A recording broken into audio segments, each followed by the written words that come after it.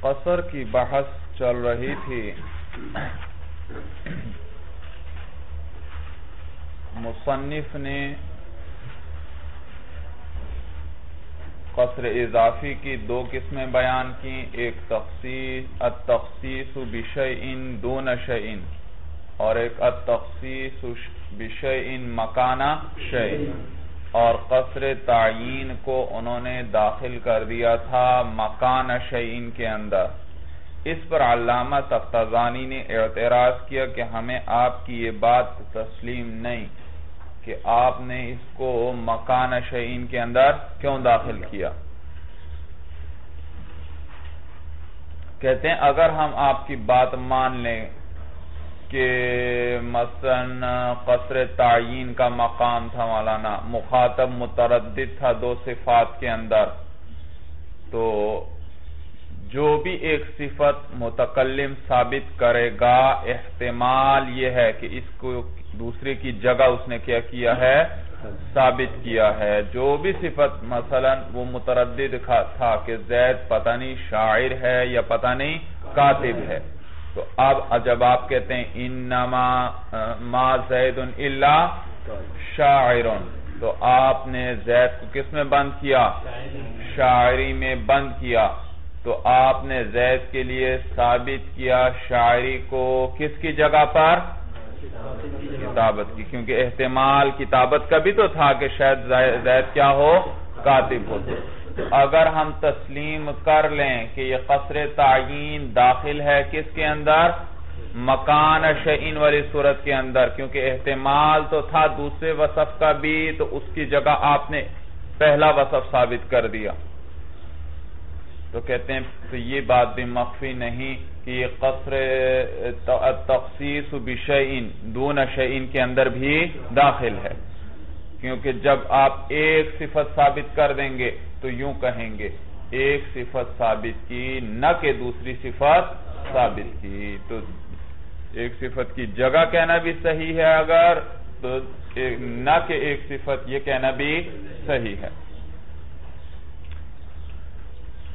چنانچہ کہتے ہیں، اسی لیے علامہ سکاکی نے اس کو کس کے اندر داخل کیا؟ دون شئین کے اندر داخل کیا۔ اور دون شئین کے انہوں نے دو افراد بنائے، دو افراد بنائے بھائی۔ ایک وہ جس کے اندر ازالہ ہو، اشتراک حقیقی کا، اور ایک وہ جس میں ازالہ ہو، اشتراک احتمالی کا۔ اور دونوں کا نام انہوں نے قصر افراد رکھا یعنی الگ انہوں نے کوئی قسم قصر تعین بنائی ہی نہیں۔ تو انہوں نے اس کو داخل کیا دون شعین والی صورت میں، اور نام اور الگ نام بھی نہیں رکھا ہوئے، الگ نام بھی نہیں رکھا۔ جبکہ مصنف نے کیا کیا، اس کو کس صورت میں داخل کیا؟ مکان شعین کے اندر داخل کیا۔ اور پھر مکان شعین میں تو قصر قلب بھی تھا، تو اس کو قصر قلب کے تحت نہیں رکھا، بلکہ کیا کیا، اس کا الگ باقاعدہ نام رکھ دیا۔ اس کے بعد مصنف نے دو شرائط ذکر کی بھائی۔ کس میں؟ قصر الموصوف علی صفت کی۔ قصر الصفت کی شرطیں نہیں ہیں، بلکہ کس کی ہیں؟ قصر الموصوف علی صفت کی۔ کہتے ہیں قصر الموصوف علی صفت افراد کے لیے جو آئے، اس کے اندر شرط ہے کہ دونوں وصف آپس میں متنافیین نہ ہوں۔ جبکہ قصر الموصوف علی صفت جو قلب کے لیے آئے، اس میں شرط کیا ہے کہ دونوں صفات آپس میں متنافی ہوں متنافی ہوں۔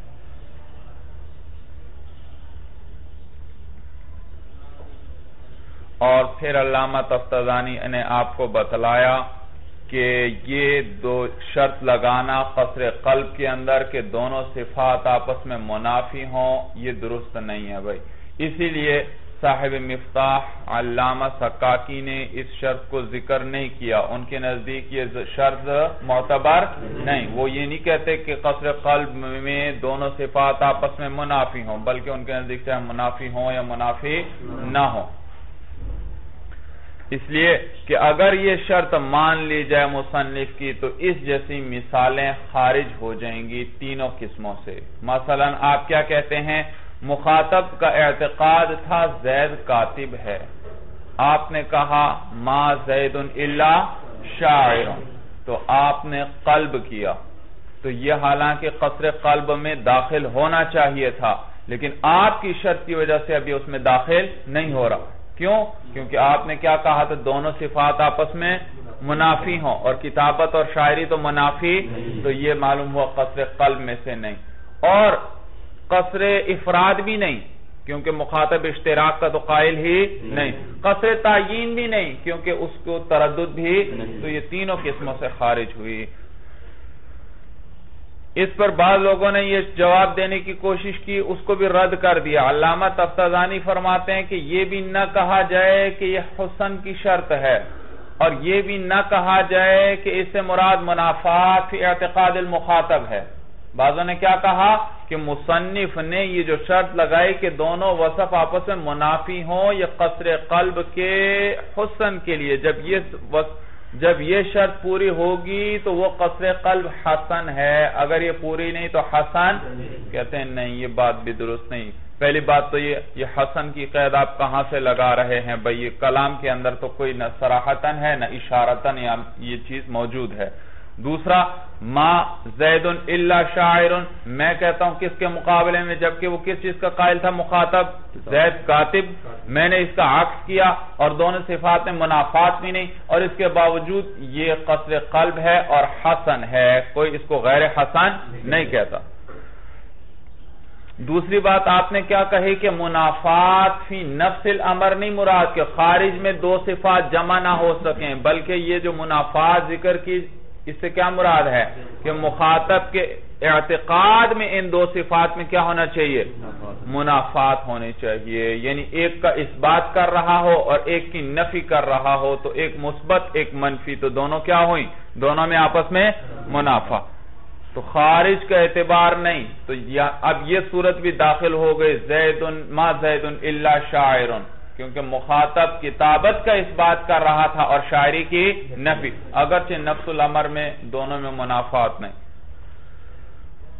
تو کہتے ہیں یہ بات بھی درست نہیں ہے، کیونکہ اگر، کیونکہ یہ تو پہلے سے ہی پتا چل چکے ہیں۔ جب آپ نے تعریف کی تھی مصنف نے، کیا کہا تھا کہ قصر قلب میں کیا ہوتا ہے؟ مخاطب کس چیز کا قائل ہوتا ہے؟ عکس کا قائل ہوتا ہے۔ جب عکس کا قائل ہے تو اس سے پتا چل گیا کہ اس کے اعتقاد میں منافات ہے۔ اعتقاد میں کیا ہے؟ کہ وہ قاتب معلوم وہ عکس کا قائل ہے، کتابت ثابت کر رہا ہے۔ صرف اور شاعری کو ثابت، تو ایک کو ثابت کر رہا ہے کہ نفی کر رہا ہے۔ دونوں میں آپس میں کیا آیا؟ منافات۔ یہ تو یہ پہلے ہی پتا چل چکا تھا۔ نیز دوسری وجہ کہ آپ نے کیا کہا؟ منافات ہی نفس الامر نہیں مراد، بلکہ منافات ہی اعتقاد مخاطب مراد ہے۔ تو کہتے ہیں، پھر تو مصنف نے ایزاح کے اندر باقاعدہ علامہ سکاکی پر اعتراض کیا۔ مصنف نے اپنی تلخیص کی خودی شرح لکھی ایزاح، اور اس کے اندر اس شرط کے تحت وہ لکھتے ہیں کہ علامہ سکاکی نے یہ شرط نہیں لگائی، حالانکہ انہیں بھی یہ شرط لگانی چاہیے تھی، لگانی چاہیے تھی۔ تو اگر اس سے منافعات فی اعتقاد مخاطب لیا جائے تو اس کے تو علامہ سکاکی بھی قائل ہیں۔ تو پھر تو مصنف کا اعتراض ہی نہیں بنتا تھا۔ ہاں البتہ منافعات فی الخارج کے وہ قائل نہیں ہیں۔ اسی وجہ سے مصنف نے ان پر کیا کیا؟ اعتراض کیا۔ معلوم ہو مصنف کے نزدیک منافعات فی نفس امر ہونا چاہیے۔ اور پھر مصنف نے علت بھی کہتے ہیں، بیان کیا بھائی کہ منافعات کیوں ہونی چاہیے؟ تاکہ جیسے ایک کی نفی کریں، خود بخود جیسے ایک کا اس بات کریں، خود بخود دوسرے کی نفی کا جیسے آپ زید کے لیے قیام ثابت کریں، خود بخود پتہ کس کی نفی ہو جائے؟ خود کی خود بخود نفی ہو جائے۔ یہ دلیل انہوں نے ذکر کی، دونوں صفات اس لیے منافعات ان میں ہونی چاہیے۔ تو اس کو بھی رد کیا شارح نے۔ بھی اس کے بعد قصر تعین کے بارے میں بتلایا کہ یہ عام ہے۔ قصر افراد کے اندر تو دونوں صفات کے اندر منافات نہیں ہونی چاہیے۔ قصر قلب کے اندر دونوں صفات کے اندر منافات ہونی چاہیے۔ اور قصر تعین عام ہے، منافات ہو آپس میں یا منافات نہ ہو۔ اس کے بعد قصر کے کئی طریقے ذکر کیے انہوں نے۔ چار طریقے یہاں ذکر کریں گے بھائی، چار طریقے۔ پہلا طریقہ ہے عطف کے ساتھ. عطف کس کے ذریعے؟ لا، بل اور لاکن کے ساتھ. دوسرا طریقہ ہے انما کے، دوسرا طریقہ ہے نفی اور استثناء کے ساتھ. تیسرا طریقہ ہے انما کے ساتھ. اور چوتھا طریقہ تقدیم کے ساتھ. عطف کی مثال مولانا، تو عطف کے لیے بات اب عطف کا عطف کے ساتھ قصر آتا ہے، اس کو ذکر کریں گے۔ تو یہ کبھی قصر الموصوف کی کی مثال ذکر کریں گے اور کبھی قصر صفت کی مثال۔ اور قصر الموصوف میں وہ دو شرطیں بھی کبھی اعتبار کرنا ہے آپ نے۔ قصر الموصوف میں افراد ہو تو پھر منافات نہ ہو۔ اور اگر قلب ہو تو لیکن قصر صفت کے اندر یہ قید معتبر تو اس لیے قصر الموصوف کی افراد کی الگ مثال ذکر کیا کریں گے اور قصر قلب کی الگ ذکر کریں گے لیکن قصر صفت کے اندر ان دونوں کی الگ مثال ذکر نہیں کریں گے۔ وہاں علامہ تفتزانی بتلا دیں گے کہ یہ افراد بھی بن سکتا ہے اور قصر قلب بھی بن سکتا ہے۔ مخاطب کو دیکھو، اگر وہ اشتراک کا قائل ہے تو افراد بن جائے گا، اگر وہ کا قائل ہے تو قلب بن جائے گا۔ تو دیکھیے، انہوں نے پہلے مثال ذکر کی زید شاعر لا کاتب یا ما زید کاتبن بل شاعر تو مثالیں ذکر کی تو شاعری اور کتابت جمع ہو سکتی ہیں تو یہ کس کی مثال ہوئی؟ قصر الموصوف کی بات چل رہی ہے نا تو یہ قصر افراد ہوا اور زید قائم لا قائد تو قیام اور قعود جمع ہو سکتے ہیں؟ جمع نہیں ہو سکتے تو یہ کس کی مثال ہوئی؟ قصر قلب کی مثال ہوئی۔ اس پر ایک اشکال بھی ہوا، اس کو بھی علامہ تفتزانی نے ذکر کیا کہ بھائی جو آپ نے شرط لگا دی کہ دونوں صفات آپس میں منافی ہونی چاہیے، تو بس ایک کا اس بات کر دو، دوسری خود بخود نفی ہو جائے گی، تو اس کو ذکر کرنے کی کیا ضرورت ہے؟ جب آپ نے ذکر کرنے کی کہتے ہیں، اس کا فائدہ یہ ہے کہ مخاطب کی غلطی پر تنبیہ ہو جائے گی۔ اگر آپ اس کو ذکر نہیں کریں گے تو ایک چیز کا اس بات بھی ہو گیا، دوسرے کی نفی بھی ہو گئی، لیکن مخاطب کی غلطی پر تنبیہ۔ لیکن جب آپ نے کہا زید کھڑا ہی ہے، بیٹھا نہیں، تو معلوم ہوا یہ بیٹھا نہیں، یہ تو پہلے سے معلوم تھا۔ پھر آپ اس کو ذکر کر رہے ہیں، معلوم ہوا مخاطب کی اعتقاد یہ ہے کہ وہ کیا ہے؟ تو اب آپ اس کو رد کر رہے ہیں۔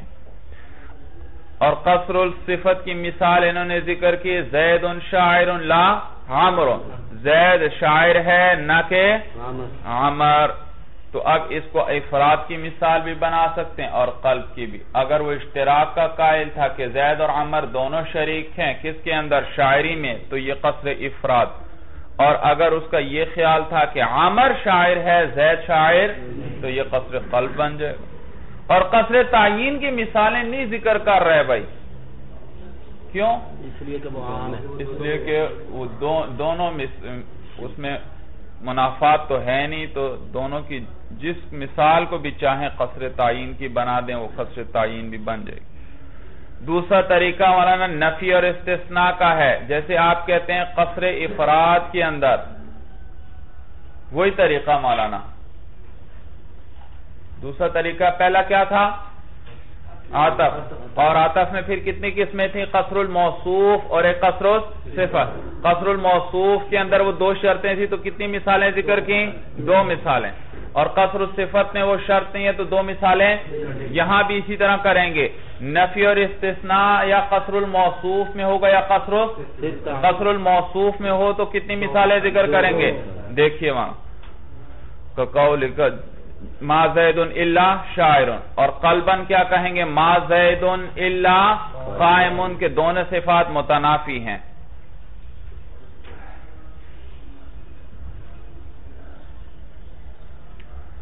اور تیسرا طریقہ قلب، تیسرا طریقہ قصر کا مولانا انما ہے۔ انما۔ تو قصر افراد میں کیا کہیں گے آپ مولانا؟ قصر الموصوف میں۔ انما زیدن کاتب منافات نہیں ہونی چاہیے نا کس کی نفی کر رہے ہیں، شاعری کی۔ اور کتابت اور شاعری میں منافات۔ اور قلب کے اندر ایسے دو وسط ذکر کریں گے، جیسے انما زیدون قائمون۔ اس کے بعد دلائل الاعجاز کی بات ذکر کی کہ وہاں شیخ عبد القاہر وہ ذکر کرتے ہیں کہ انما اور لا عاطفہ، یہ صرف قصر قلب کے لیے آتے ہیں، قصر افراد کے لیے، اور البتہ مصنف کے نزدیک یہ قصر قلب کے لیے بھی آتے ہیں اور قصر اسی لیے دونوں کی مثالیں انہوں نے ذکر کر دیں۔ اب یہ قصر انما کیوں فائدہ دیتا ہے قصر کا؟ کہتے ہیں اس لیے کہ یہ ما اور اللہ کے معنی کو متضمن ہوتا ہے۔ یعنی ما اور اللہ کے معنی میں نہیں ہوتا بلکہ ان کے معنی کو متضمن ہوتا ہے۔ یعنی ہر اعتبار سے یہ ما اور اللہ کی طرح نہیں ہے۔ اسی وجہ سے ہر وہ کلام جہاں ما اور اللہ آئے، وہاں انما کا لانا ضروری، یہ ضروری نہیں کہ انما کا لانا بھی صحیح ہو۔ تو اس کے بعد چونکہ اختلاف آیا ان نما کے اندر بعض علماء نے کہا یہ قصر کا فائدہ دیتا ہے بعضوں نے کہا یہ قصر کا فائدہ نہیں دیتا۔ تو اختلاف کی وجہ سے اب مصنف یہ بات ذکر کرنے لگ پڑے کہ یہ قصر کا فائدہ دیتا ہے اور اس کے لیے انہوں نے تین دلائل ذکر کیے۔ ایک دلیل کیا ذکر کی؟ قول مفسرین ذکر کیا کہ مفسرین کہتے ہیں بھائی انما حرم علیکم المیتتا یہ اس کا معنی ہے ما حرم علیکم الا المیتتا تو دیکھا انہوں نے انما کے ساتھ جو آیت ہے اس کا ترجمہ کس کے ساتھ کیا؟ ما اور اللہ کے ساتھ. اور علامہ اور کہتے ہیں نیز یہ معنی رفع کی قرآت کے مطابق بھی ہیں۔ رفع والی قرآت میں بھی دونوں معرفہ بن جاتے تھے تو کیا آ جاتا تھا؟ قصر۔ تو اس میں بھی ما اور اللہ کے ساتھ ترجمہ کر کے بتلایا، یہاں بھی قصر ہے۔ تو دونوں میں قصر آیا تو ایک قرآت کیا ہوئی؟ دوسری کے موافق ہو گئی۔ موافق ہو گئی۔ تو یہاں تین قراتیں تھیں مولانا۔ ایک یہ، انما حرم علیکم المیتتا ایک تھا، انما حرم علیکم المیتتا اس صورت میں ما کون سا ہوگا؟ موصولہ اور اول صورت میں ما کافا اور ہماری بحث اس وقت ما کافا میں چل رہی ہے، کیونکہ انما میں ما کون سا ہوتا ہے؟ ما کافا ہوتا ہے۔ تو دیکھا ما کافا والی قرآت مطابق ہوئی ما موصولہ والی قرآت کے۔ اور ایک تیسری قرآت بھی ہے انما حرم علیکم المیتہ تو یہاں پر مولانا حرم مجھول پڑا اور میتا کو نائب فائل بنایا۔ مصنف نے کہا بعض لوگوں نے تو یہاں ان کی کون سی مراد ہے بھائی؟ کون سی قرآت؟ حرمہ کو معروف ہی پڑھنا ہے دو اور میتا کو منصوب اور مرفوع۔ یہ دو قرآتیں مراد ہیں۔ وہ تیسری قرآت جس میں میتا مرفوع ہے لیکن ساتھ ساتھ حرمہ بھی کیا ہے؟ فیل مجھول ہے وہ مراد نہیں ہے یہاں پر۔ تو البتہ بعضوں نے وہ سمجھے شاید یہ رفع والی قرآت سے وہ قرآت مراد ہے اور انہوں نے پھر اعتراض کیا کہ بھئی آپ نے انما حرم علیکم المیتتو کے اندر۔ ما موصولہ کیوں مراد لیا؟ اس سے آپ نے ما کافا کیوں نہیں مراد لیا؟ حالانکہ امام زجاج کس چیز کے قائل ہیں کہ اس کو ما کافا بھی بنا سکتے ہیں؟ بھئی اس سے بحث ہی نہیں، ہماری ہماری بحث کس سے ہے؟ دوسری سے۔ اور نیز اس کے اندر بھی ویسے ہم ذکر کر دیتے ہیں کہ وہاں پر بھی ما کو موصولہ بنانا بہتر ہے۔ کیوں؟ اس لیے کہ انہ اپنے اسم کو نصب دیتا ہے اور اصل اس کے اندر ہے کہ اس کو عمل کرنا چاہیے اور ماں کو موصولہ بناؤ گے تو یہ عامل بنے گا۔ اگر ماں کو کافا بنا دو گے تو ماں تو اس کو عمل سے روک دے گا تو یہ اپنی اصل سے خارج ہو جائے گا۔ تو اس کو اپنی اصل پر برقرار رکھنا زیادہ بہتر ہے۔ دوسری دلیل یہ ذکر کی مولانا کہ ان نما کس چیز کا فائدہ دیتا ہے؟ قصر کا دوسری دلیل، کہتے ہیں کہ نحویوں کے یہ اس قول کی وجہ سے کہ انما آتا ہے مذکور کے اس بات کے لیے اور غیر مذکور کی نفی کے لیے۔ یہ کلام بتلا رہا ہے کہ انما قصر کے لیے آتا ہے، کیونکہ قصر کے اندر مذکور کا اس بات ہوتا ہے اور ما سوا کی نفی ہوتی۔ ہے جی تیسری دلیل اب بتلائیں گے آپ کو وَلِسِحَةٍ فِي صَالِ الزَّمِيرِ مَعَهُ اَيْ مَعَ انما تیسری دلیل یہ کہ انما کے بعد ضمیر منفصل کا لانا صحیح ہے۔ انما کے بعد ضمیر منفصل کا لانا صحیح ہے۔ معاہو، اے مع، انما، ضمیر کا مرجع بتلایا۔ مثال ذکر کی، نحو، انما یقوم انا۔ انما یقوم انا۔ تو دیکھا ترکیب یہ ہوگی مولانا۔ انا حرف حروف مشبہ بالفیل ما کافا یقوم فیل انا ضمیر مرفوع محلا فاعل فیل اپنے فاعل سے مل کر جملہ فیلیا ہوا، ترکیب یہ ہوئی سمجھ میں آئی ہوئی تو انا فاعل ہے یقوموں کے لیے۔ تو دیکھا، ضمیر منفصل آئی۔ اور یاد رکھو، کلام عرب کے اندر اصل یہ ہے کہ ضمیر متصل استعمال کی جائے۔ ضمیر کو منفصل لانا ان کے ہاں جائز ہی نہیں ہے۔ اللہ کوئی مجبوری ہو تو پھر ضمیر منفصل لا سکتے ہیں، ورنہ نہیں لا سکتے۔ متصل لے کر آؤ، کیونکہ کلام کیا ہے؟ عرب کا کلام مختصر ہے، وہ مختصر کلام پسند کرتے ہیں۔ تو ضمیر منفصل کی صورت میں کلام کیا ہو جاتا ہے؟ لمبا ہو جاتا ہے۔ تو جب تک ممکن ہو متصل لاؤ۔ جب کوئی مجبوری آ جائے، پھر اجازت ہے کس چیز کے لانے کے منفصل کے لانے کی۔ مثال کے طور پر ضمیر کو آپ مقدم کرنا چاہتے ہیں فیل پر۔ جب مقدم کرنا ہے، اب تو لازمی بات ہے، انفصال ہی کرنا پڑے گا۔ متصل بھی ہو اور مقدم بھی ہو، ایسا نہیں ہو سکتا۔ ضربتو کے اندر فیل تو ضمیر فائد تو یہ ضربہ کے ساتھ ملی ہوئی ہے۔ اب آپ اس کو مقدم کرنا چاہتے ہیں تو پھر اس کو کیا کرنا پڑے گا؟ آنا آنا ضربتو تو لازمی بات ہے، آنا کو اس میں سے کیا کرنا پڑے گا؟ نکالنا پڑے گا۔ منفصل لانا پڑے گا۔ تو انما کے بعد ضمیر تو ضمیر منفصل ہمیشہ کس وجہ سے لائی جاتی ہے؟ کسی مجبوری کی وجہ سے۔ اور وہ مجبوری کیا؟ یا تو مثال کے طور پر ضمیر مقدم کرنی پڑ جائے یا اس وجہ سے کہ ضمیر کو عامل سے آپ جدا کر دیتے ہیں۔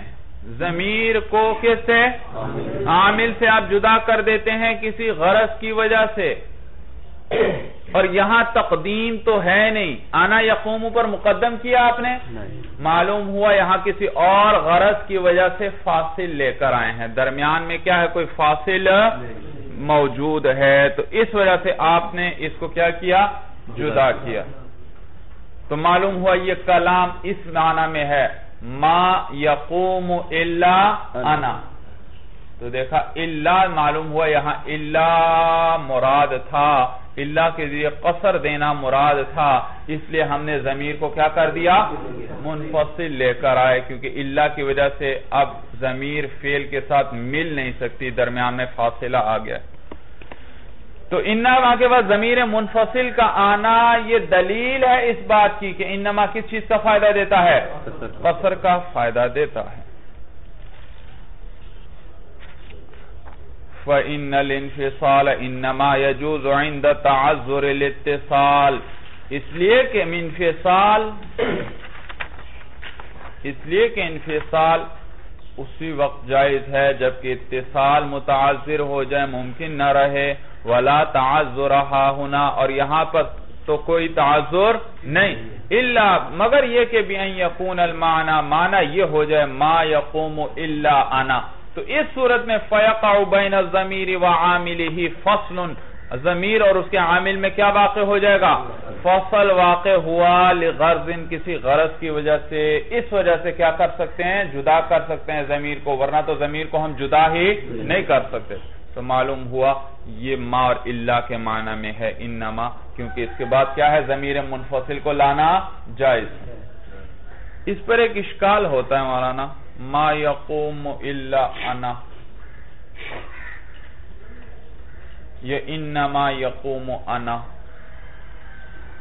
کہ بھئی یہ انا یقوم کے لیے کیسے فائل بنے گے یقوم تو ہے فعل غائب اور انا تو ہے ضمیر متکلم، تو فعل غائب کے لیے انا ضمیر متکلم کیسے فائل بن سکتی ہے؟ اعتراض سمجھ میں آیا بھائی اس کے لیے تو ہوا ضمیر بن سکتی ہے، انا تو نہیں بن سکتی۔ تو اس کا ایک جواب مولانا علامہ وہ ہے جو علامہ تفتزانی ذکر کرتے ہیں متول کے اندر۔ وہ فرماتے ہیں کہ ہمیں تسلیم نہیں کہ یقوم فعل غائب ہے، بلکہ یہ کیا ہے؟ فعل متقلم ہے، فعل یقوم آپ نے کیا پڑھا فعل غائب کہتے ہیں، نہیں بھائی یقوم فعل غائب نہیں ہے، بلکہ کون سا ہے؟ فعل کہتے ہیں، بھائی، فعل کے غائب اور فعل کا متقلم کے لیے ہونے کے، کا پتہ کس سے چلتا ہے؟ فائل سے۔ اگر فائل غائب تو ہم کہتے ہیں فعل غائب۔ اگر فائل متقلم ہو تو کیا کہتے ہیں؟ فعل متقلم اور یہاں فائل غائب ہے یا متقلم ہے؟ تو معلوم ہے یہ فعل متقلم ہے، یہ فعل غائب ہے ہی نہیں۔ ایک جواب ہوا۔ دوسرا جواب کہ یہاں بھائی دراصل، آنا جو ہے فائل نہیں، ما یقوم الا انا کے اندر، بلکہ اصل میں فائل ہے، احد یہاں بھائی مستثنا منہ محضوف ہے، ما یقوم احد الا انا تو مستثنا منہ فائل ہے اور انا ضمیر کا اس سے استثناء ہوا۔ تیسرا جواب یہ بھی دے سکتے ہیں مولانا کہ ضمیر منفصل جو ہے، اس میں ظاہر کے درجے میں ہوتی ہے۔ آپ نے نحو میں، جامی میں جا بجا پڑا ہوگا۔ علامہ جامی فرماتے ہیں، ضمیر منفصل کس کے درجے میں ہوتی ہے؟ اس میں ظاہر کے درجے میں ہوتی ہے۔ اور یقومو کے لیے اس میں ظاہر فائل آ سکتا ہے یعنی یقوم زیدن کہہ سکتے ہیں یا نہیں کہہ سکتے جب وہ آ سکتا ہے تو ضمیر منفصل بھی اس میں ظاہر کے درجے میں ہے، تو یہ بھی اس کے لیے فائل بن سکتی ہے۔ ثم استشهد على صحة هذا الانفصال ببيت من هو ممن يستشهد بشعره۔ پھر کہتے ہیں، مصنف نے کیا کہا مولانا؟ کیا دعویٰ ذکر کیا؟ انما قصر کے لیے آتا ہے۔ اس کے لیے کیا دلیل ذکر کی؟ کیونکہ انما کے بعد ضمیر منفصل کا لانا صحیح ہے، یہ دلیل ہے اس بات کی کہ انما قصر کے لیے ہے۔ تو آپ یہ مولانا دلیل پر پھر دلیل ذکر کر رہے ہیں بھائی۔ آپ نے دلیل کیا ذکر کی کہ انما کے بعد ضمیر منفصل کا لانا جائز ہے۔ کہاں پر ہے بھائی لانا جائز؟ ہمیں اس کی کیا دلیل ہے آپ کے پاس؟ تو دلیل کے طور پر فرزدق کا شعر پیش کر رہے ہیں، جو پہلی صدی کے شاعر ہیں مولانا، اور پہلی صدی کے شعراء تک کا کلام جو ہے وہ بطور استشہاد کے کلام عربی میں نح وغیرہ میں اس کو پیش کیا جاتا ہے۔ بعد کے شعراء کے کلام کو ذکر نہیں کیا جاتا۔ تو اسی لیے تو استشہاد فرزدق وغیرہ کے شعر سے کیا جا سکتا ہے۔ بعض والے جو شعراء ہیں ان کے کلام سے استشہاد دلیل کے طور پر ان کو ذکر یہی بات کر رہے ہیں۔ سم مستشہدہ پھر مصنف نے استشہاد کیا مولانا، علی صحت حاضر انفصال اس انفصال کے صحیح ہونے پر ببیتی من، اس شخص کے شعر سے ہوا ممن جو ان لوگوں میں سے ہے، یستشہد بشعرہی جس کے شعر کے ساتھ کیا کیا جاتا ہے؟ استشہاد کیا جاتا ہے یعنی بطور دلیل کے اس کو ذکر کیا جاتا ہے۔ وَلِهَذَا صَرَّحَ بِسْمِهِ اسی وجہ سے مصنف نے نام کی بھی تصریح کر دی کہ یہ میں کس کا شعر ذکر کرنے لگا ہوں یہ کوئی عام شعر نہیں ہے بلکہ کس کا ہے؟ فرزدق کا ہے۔ فَقَالَ قَالَ الْفَرَزْدَقُ شعر۔ انا الزائد من الزود هو الطرد۔ زائد کا معنی ہے دفاع کرنے والا۔ زائد زود سے ہے وہ ترد ترد کا کیا معنی؟ دور کرنا دفاع کرنا۔ میں ہی دفاع کرنے والا ہوں۔ الحامی، حامی کا معنی حفاظت کرنے والا۔ الزمار، ای العہدہ زمار کس کو کہتے ہیں؟ آہد کو کہتے ہیں آہد کو کہتے ہیں۔ آہد کو کیا کہتے ہیں بھئی تو میں ہی دفاع کرنے والا ہوں۔ الحام الزمارہ۔ اور میں ہی حفاظت کرنے والا ہوں عہد کی۔ یعنی جب کوئی وعدہ وغیرہ کر لوں تو اس کو کیا کرتا ہوں؟ پورا کرتا ہوں۔ وفل اساسی تو یہ تو اس کا لغوی معنی، پھر بعد میں یہ مستعمل ہونے لگا لغت ہی میں، دوسرے معنی میں بھی۔ وفل اساسی اور اساس کتاب میں ہے الحامز زمارہ کہ یوں کہتے ہیں عربی میں، کیا کہتے ہیں؟ الحامز۔ کب کہتے ہیں؟ اذا حما۔ جبکہ کوئی شخص حفاظت کرے ما اس چیز کی۔ لو لم یحمی ہی اگر اس کی وہ حفاظت نہ کرے، نہ کرتا لیما تو کیا کیا جاتا؟ ملامت کیا جاتا۔ وعنفا اور برا بھلا کہا جاتا اس کو۔ تو جب کوئی شخص وہ حفاظت کرنے والا ہو ان چیزوں کی، کہ جن کے یعنی وہ چیز جس کی حفاظت لازمی ہو، اس کو زمار کہتے ہیں۔ جو چیز، جس چیز کی حفاظت کیا ہو؟ لازمی ہو، اس کو زمار کہتے ہیں۔ یعنی جس کی حفاظت نہ کرنے پر لوگ بھی اس کو کیا کہیں؟ برا بھلا کہیں۔ تو یہ کس سے ہے؟ من حماہ و حریمہ اس پہ ہے مولانا۔ حماہ اس نے حفاظت کی، اس کی وہ حریم یعنی چاہے اپنی، اسی کی طرف کر دیں۔ اس نے حفاظت کی، اپنی یا اس غیر کی وہ حریمہ اور اس کے گھر والوں کی۔ حریم اور رجل کہتے ہیں اس گھر کے گھر والے، بھائی، بیویاں، عورتیں وغیرہ۔ تو اس نے حفاظت کی، اس کی یا اس نے حفاظت کی اپنی اور اپنے گھر والوں کی۔ تو گھر والوں کی حفاظت بھی کیا ہوتی ہے؟ ضروری ہوتی ہے۔ وَإِنَّمَا يُدَّافِعُ عَنْ أَحْصَابِهِمْ أَنَا أَوْ مِثْلِ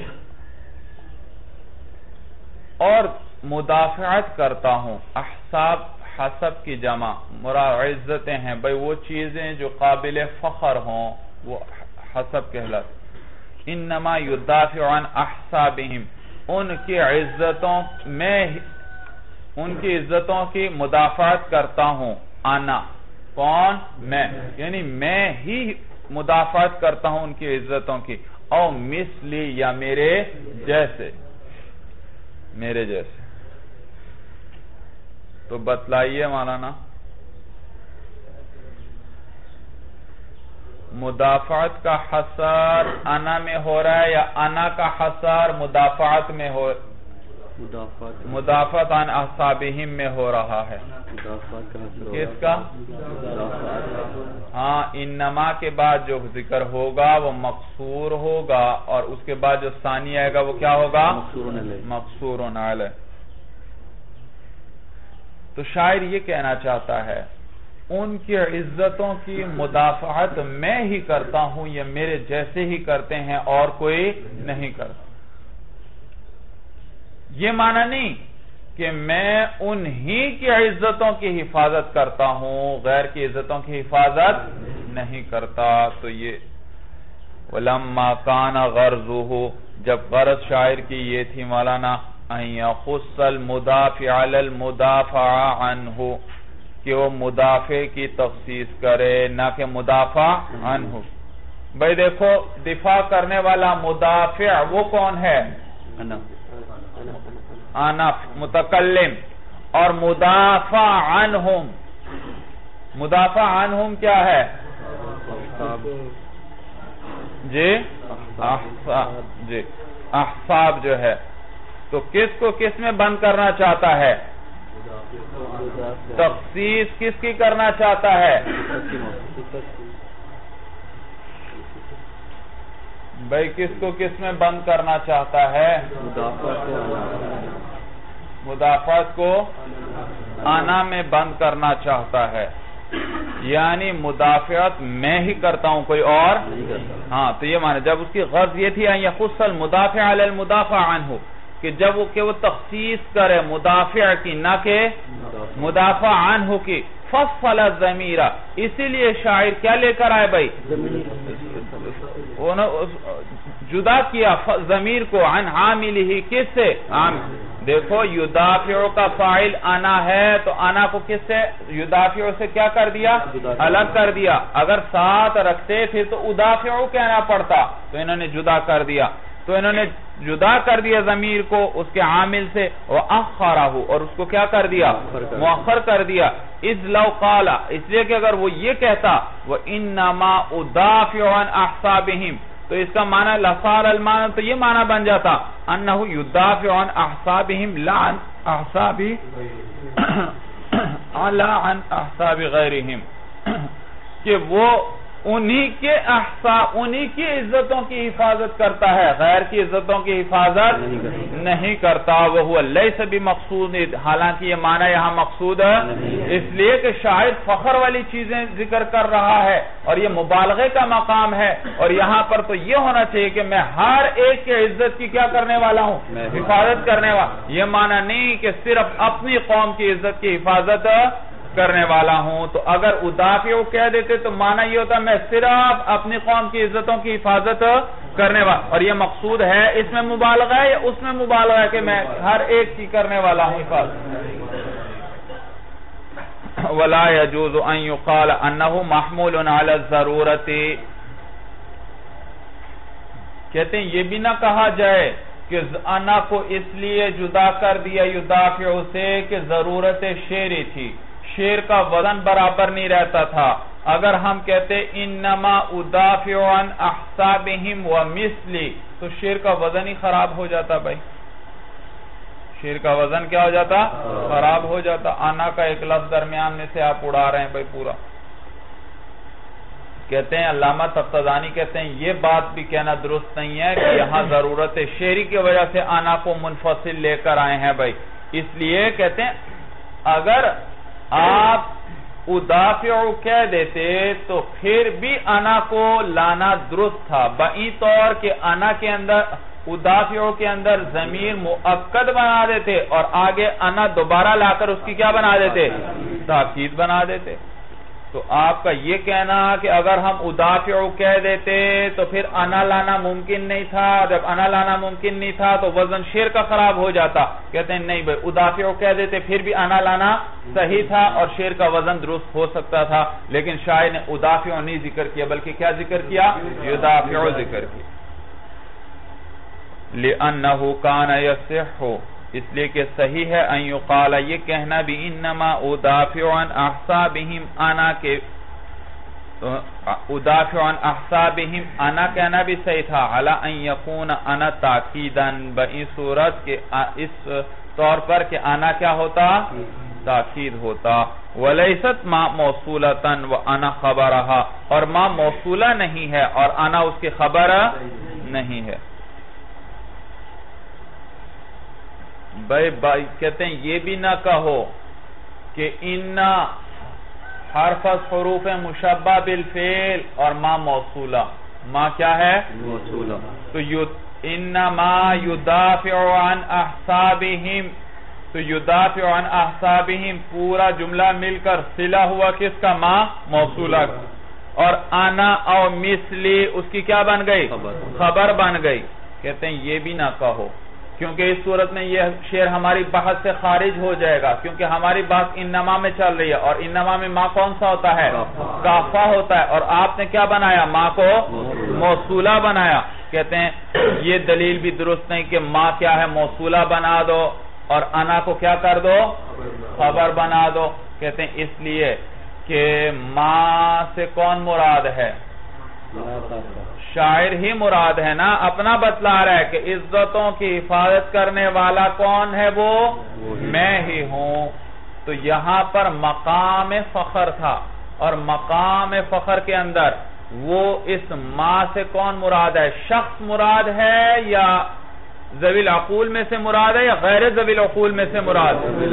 زویل عقول میں سے مراد ہے اور زویل عقول کے لیے مانی لاتے بلکہ کیا لاتے ہیں؟ من۔ لاتے ہیں۔ تو یہاں مقام مقام فخر کے اندر یہ ممکن ہی ہے ممکن ہی نہیں ہے کہ شاعر اپنے لیے وہ لفظ لے کر آئے جو کس کے لیے استعمال ہوتا ہے؟ غیر زویل عقول کے لیے۔ تو اس ماں کو موصولہ بنانا بھی صحیح نہیں۔ وَلَيْسَتْ مَا مَوْصُولَةً اور ما موصولہ بھی نہیں ہے وَأَنَا خَبَرَهَا اور انا اس کی خبر بھی نہیں ہے۔ اِذْ لَا ضَرُورَةَ فِي الْعُدُولِ عَنْ لَفْظِ مَنْ إِلَى لَفْظِ مَا، اس لیے کہ کوئی ضرورت نہیں کہ عدول کیا جائے لفظ من سے کس کی طرف، لفظ ما کی طرف۔ وَمِنْهَا التَّقْدِيمِ قصر کا چوتھا طریقہ ہم پڑھ رہے ہیں مولانا تقدیم۔ اول کیا پڑھا؟ عطف۔ ثانی نفی اور استثناء۔ اور تیسرا کیا پڑھا؟ انما۔ اور چوتھا ہے قصر۔ تقدیم۔ وَمِنْهَا تقدیم ای تقدیم ما حقه التاخیر۔ دیکھا وہ ضابطہ میں نے آپ کو یاد کروایا تھا۔ تقدیم ما حقه التاخیر یفید الحصر والقصر والتقصیص یعنی جو وہ چیز جس کا حق تاخیر ہو اس کو مقدم کر دیا جائے، تو یہ کس چیز کا فائدہ دیتا ہے؟ حسر اور قصر کا اور تخصیص کا۔ تقدیم الخبر علی المبتدا جیسے کہ خبر کو مقدم کر دینا مبتدا پر۔ اب المعمولات علی الفعل۔ یا معمولات کو مقدم کر دینا، فعل پر مقدم کر دینا۔ تو یاد رکھو، خبر کو جب مبتدا پر مقدم کریں گے تو وہ کس چیز کا فائدہ دے گی؟ تخصیص کا اور قصر کا فائدہ دے گی۔ لیکن شرط یہ ہے کہ مبتدا نکرہ نہ ہو۔ مبتدا کیا ہو؟ لیکن نکرہ تو آپ نے پڑھا ہے، مبتدا واقعی نہیں ہو سکتا۔ تو اس کے تو مبتدا بنانے کے لیے ہمیں کرنا ہی مؤخر پڑے گا، ورنہ وہ مبتدا ہی نہیں بن کا فی قصری جیسے آپ کہتے ہیں کس میں فی قصری ای قصر الموصوف میں تمیمی آنا؟ کیا مانا میں تمیمی ہی ہوں۔ میں تمیمی ہی ہوں۔ جی؟ میں ہی تمیمی قصر الموصوف علی الصفت ہے یا قصر الصفت علی الموصوف ہے؟ قصر الموصوف علی تو کس کو کس میں بند کر رہا ہے؟ انا کو تمیمی۔ میں کیا ترجمہ؟ میں تمیمی ہی ہوں۔ میں کان الانصب۔ اچھا جی یا مصنف نے ایک مثال ذکر کی۔ حالانکہ مصنف کا طریقہ کیا تھا؟ قصر الموصوف میں دو مثالیں ذکر کرتے تھے۔ کیونکہ دو صفات افراد کے لیے ضروری تھا دو صفات آپس میں۔ قصر الموصوف کے اندر قصر افراد کے اندر ضروری تھا۔ دونوں صفات آپس میں کیا ہو منافی نہ ہو اور قصر قلب میں کیا ضروری تھا آپس میں؟ منافی تو لہذا اس کے لیے وہ ہمیشہ کتنی مثالیں ذکر کرتے ہیں؟ دو مثالیں۔ ہاں قصر الصفت کے اندر ایک مثال ذکر کرتے ہیں۔ تو یہاں پر انہوں نے صرف ایک ہی مثال ذکر کی۔ تو علامہ تفتزانی اب اعتراض کر رہے ہیں بھائی کہ بہتر یہ تھا کہ آپ کو کیا کرنا چاہیے تھا؟ یہاں بھی دو مثالیں ذکر کرنی چاہیے تھیں۔ اس لیے کہ آپ نے کیا کہا؟ میں تمیمی ہی ہوں، معلوم ہوا قیسی؟ قیس قبیلہ کا نہیں ہوں میں۔ تو آپ نے اس بات کیا تمیمی کا، اور نفی کی صفت کی کی قیس ہونے کی، قیسی ہونے کی۔ تو بعضوں نے جواب دیا کہ بھئی یہ ایک ہی مثال دونوں کے لیے درست ہو سکتی ہے۔ اس لیے کہ آپ نے کیا نفی کس چیز کی کی؟ قیسی ہونے کی۔ تو قیسی ہونا یہ دو طرح پر ہے۔ ایک قیسی ہونا ہے اعتبار اب کے۔ بھائی میں عرب کے قبیلے تھے نا، بنو تمیم، یہ تمیم کے بیٹے تھے۔ بنو، بنون اضافت ہو رہی ہے۔ بنو تمیم تمیم کو ان کا دادا پر دادا گزرا، تو اس کے بعد اس کی جتنی اولاد اور قبیلے اس کی اولاد سے پھیلتے چلے گئے، سارے کیا کہلائے؟ بنو تمیم۔ اسی طرح قیس والے بھی ہوں گے، ان کا بھی کوئی دادا ہوگا، اس کے لقب سے سارا قبیلہ جتنا آگے پھیلتا چلا گیا، کس نام سے مشہور ہوا؟ قیس سے۔ تو اب، تو یہاں پر قیس سے مراد، اگر وہ اب والی نسبت مراد لی جائے کہ میں تمیمی ہوں، وہ تمیمی جو منصوب ہے کس کی طرف؟ باپ کے اعتبار سے۔ اور تو نفی کس کی ہوئی؟ اس قیسی کی جو منصوب ہے کس کی طرف اپنے؟ باپ کی طرف۔ تو دونوں میں منافعات آ گئی۔ کیونکہ جو بھی تمیمی تمیم کی اولاد سے ہوگا وہ یقیناً قیس کی اولاد سے۔ اور جو بھی قیس کی اولاد سے ہوگا وہ یقیناً تمیم کی اولاد سے۔ تو دونوں میں کیا آئی؟ منافعات تو یہ کس کی مثال بن گئی؟ قصر قلب کی بھی مثال بن سکتی ہے بن گئی۔ اور قصر افراد کی بھی بن سکتی ہے۔ اس طور پر کہ قیسی سے مراد میں تمیمی ہوں قیسی نہیں ہوں۔ مراد ہے منصوب الالقیس کیا مراد ہے؟ منصوب۔ تو پہلے میں منصوب تھا اعتبار اب کے۔ اب منصوب ہے اعتبار حلف کے۔ کس کے؟ آپس میں معاہدے کے اعتبار سے۔ کس کے اعتبار سے؟ معاہدے کے اعتبار سے۔ یعنی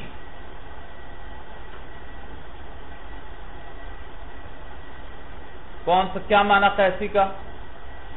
کہ جس نے قیس والوں سے کا حلیف ہے۔ کیا ہے؟ ان کا حلیف ہے۔ ان سے معاہدہ کیا ہوا ہے۔ تو ان کا ساتھی ہے۔ کیا ہے ان کا؟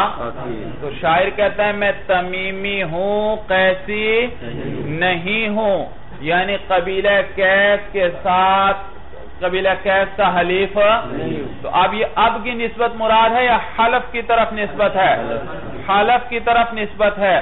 اور حلف کی طرف نسبت کرتے ہوئے بنو تمیم، تمیمی ہونا اور قیسی ہونا جمع ہو سکتے ہیں۔ قصر افراد میں کیا تھا؟ دونوں صفات آپس میں متنافی؟ تو ہو سکتا ہے ایک شخص ہو تو قبیلہ تمیم سے۔ لیکن حلیف کس کا ہے؟ قیس کے ساتھ معاہدہ بھی کیا ہوا ہے تو بنی تمیم کا بھی ہو گیا اور قیسی بھی ہوا یعنی ان کا حلیف بھی تو جمع ہو گیا نہیں دونوں، کیونکہ اب کی طرف نسبت نہیں مراد، اب کی طرف نسبت مراد ہے تو جمع نہیں، اور اگر حلف کی طرف نسبت ہو تو دونوں جمع، اور جب دونوں جمع ہوں گے تو پھر کس کی مثال بن جائے گی؟ تو یہ قصر قلب کی بھی مثال اور قصر بات سمجھ میں آ گئی؟ اسی لیے علامہ تفتانی فرماتے ہیں کانل انصب زیادہ زیادہ مناسب تھا۔ ذکر المثالین، دو مثالوں کا ذکر کرنا۔ لئن تمیمیت والقیسیت اس لیے کہ تمیمی ہونا اور قیسی ہونا ان تنافیا، اگر ان کے آپس میں منافع تھا ہو، لم یسر هذا مثالا لقصر الافراد۔ تو یہ صلاحیت نہیں بن رکھتی کہ مثال بنے قصر افراد کے لیے کیونکہ اس میں منافعات نہیں ہونی چاہیے۔ وَإِلَّا اور اگر ایسا نہ ہو منافعات نہ ہو لم يصح لقصر القلب تو یہ قصر قلب کے لیے پھر صحیح۔ اگر منافعات نہیں تو پھر قصر قلب نہیں ہو سکتا کیونکہ اس میں منافعات ضروری۔ وفی قصریہ اور قصر صفت میں یوں کہیں گے، آنا کفی تم مہم کا میں ہی کافی ہوں تمہارے ضروری مسئلے میں۔ مہم کہتے ہیں ضروری کام، ضروری مسئلے میں ہی کافی ہوں تمہارے ضروری کام کے اندر یعنی زید یا عمر کی ضرورت نہیں ہے۔ تو یہ قصر افراد بھی ہو سکتا ہے، قصر قلب بھی ہو سکتا ہے، قصر تعین بھی ہو سکتا ہے، بحسب اعتقاد المخاطب، مخاطب کے اعتقاد کے اعتبار۔ اگر وہ شرکت کا قائل تھا کہ آپ اور زید مل کر کافی ہیں تو آپ نے افراد کیا اپنا کہ میں ہی کافی ہوں تو یہ قصر افراد ہوا۔ اگر وہ اس بات کا قائل تھا کہ عامر ہی کافی ہے، آپ کافی؟ تو یہ پھر قصر قلب کی مثال ہو گئی کہ آنا کافی، تو میں ہی کافی ہوں۔ اور اگر وہ متردد تھا کہ پتہ نہیں آپ کافی ہیں یا عمر کافی ہے، تو آپ نے کہا انا کفیتم مہمہ کا، تو یہ کیا ہے؟ قصر تعین ہے۔ وَهَادِهِ الطُّرُقُ الْأَرْبَعَةُ یہ چار طریقے گزر گئے مولانا۔ پہلا طریقہ کیا تھا بھائی؟ عاطف کس کے ساتھ؟ لا بلا لاکن. کے ساتھ. اور دوسرا طریقہ کیا تھا؟ نفی اور استثناء. ما نفی اور استثناء. اور تیسرا طریقہ؟ انما. اور چوتھا طریقہ؟ تقدیم. وَهَذِهِ الطُّرُقُ الْأَرْبَعَةُ اور یہ چار طریقے جو ہیں قصر کے بعد اشتراکیها فی افادت القصر بعد مشترک ہونے کے افادہ قصر میں یعنی افادہ قصر میں یہ مشترک ہیں.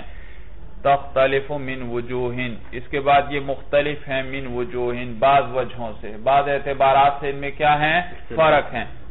اب وہ فرق ذکر کریں گے مولانا کہ عطف کا باقیوں سے کیا فرق؟ انما کا کیا فرق؟ ما اور اللہ کا کیا فرق؟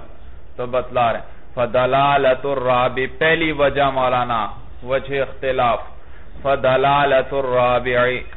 چوتھے کی دلالت، چوتھا کون ہے مولانا؟ کون سا طریقہ؟ تقدیم۔ اے تقدیم بالفحوہ۔ وہ چوتھے کی دلالت کس کے ساتھ ہے؟ فحوائے کلام سے ہے۔ اے بمفہوم الکلام فحوائے کلام سے کیا مراد ہے؟ یعنی تقدیم، یہ کس چیز پر دلالت کرتی ہے؟ کس پر؟ قصر پر۔ اے بمفہوم الکلام بمان انہو اذا تعمل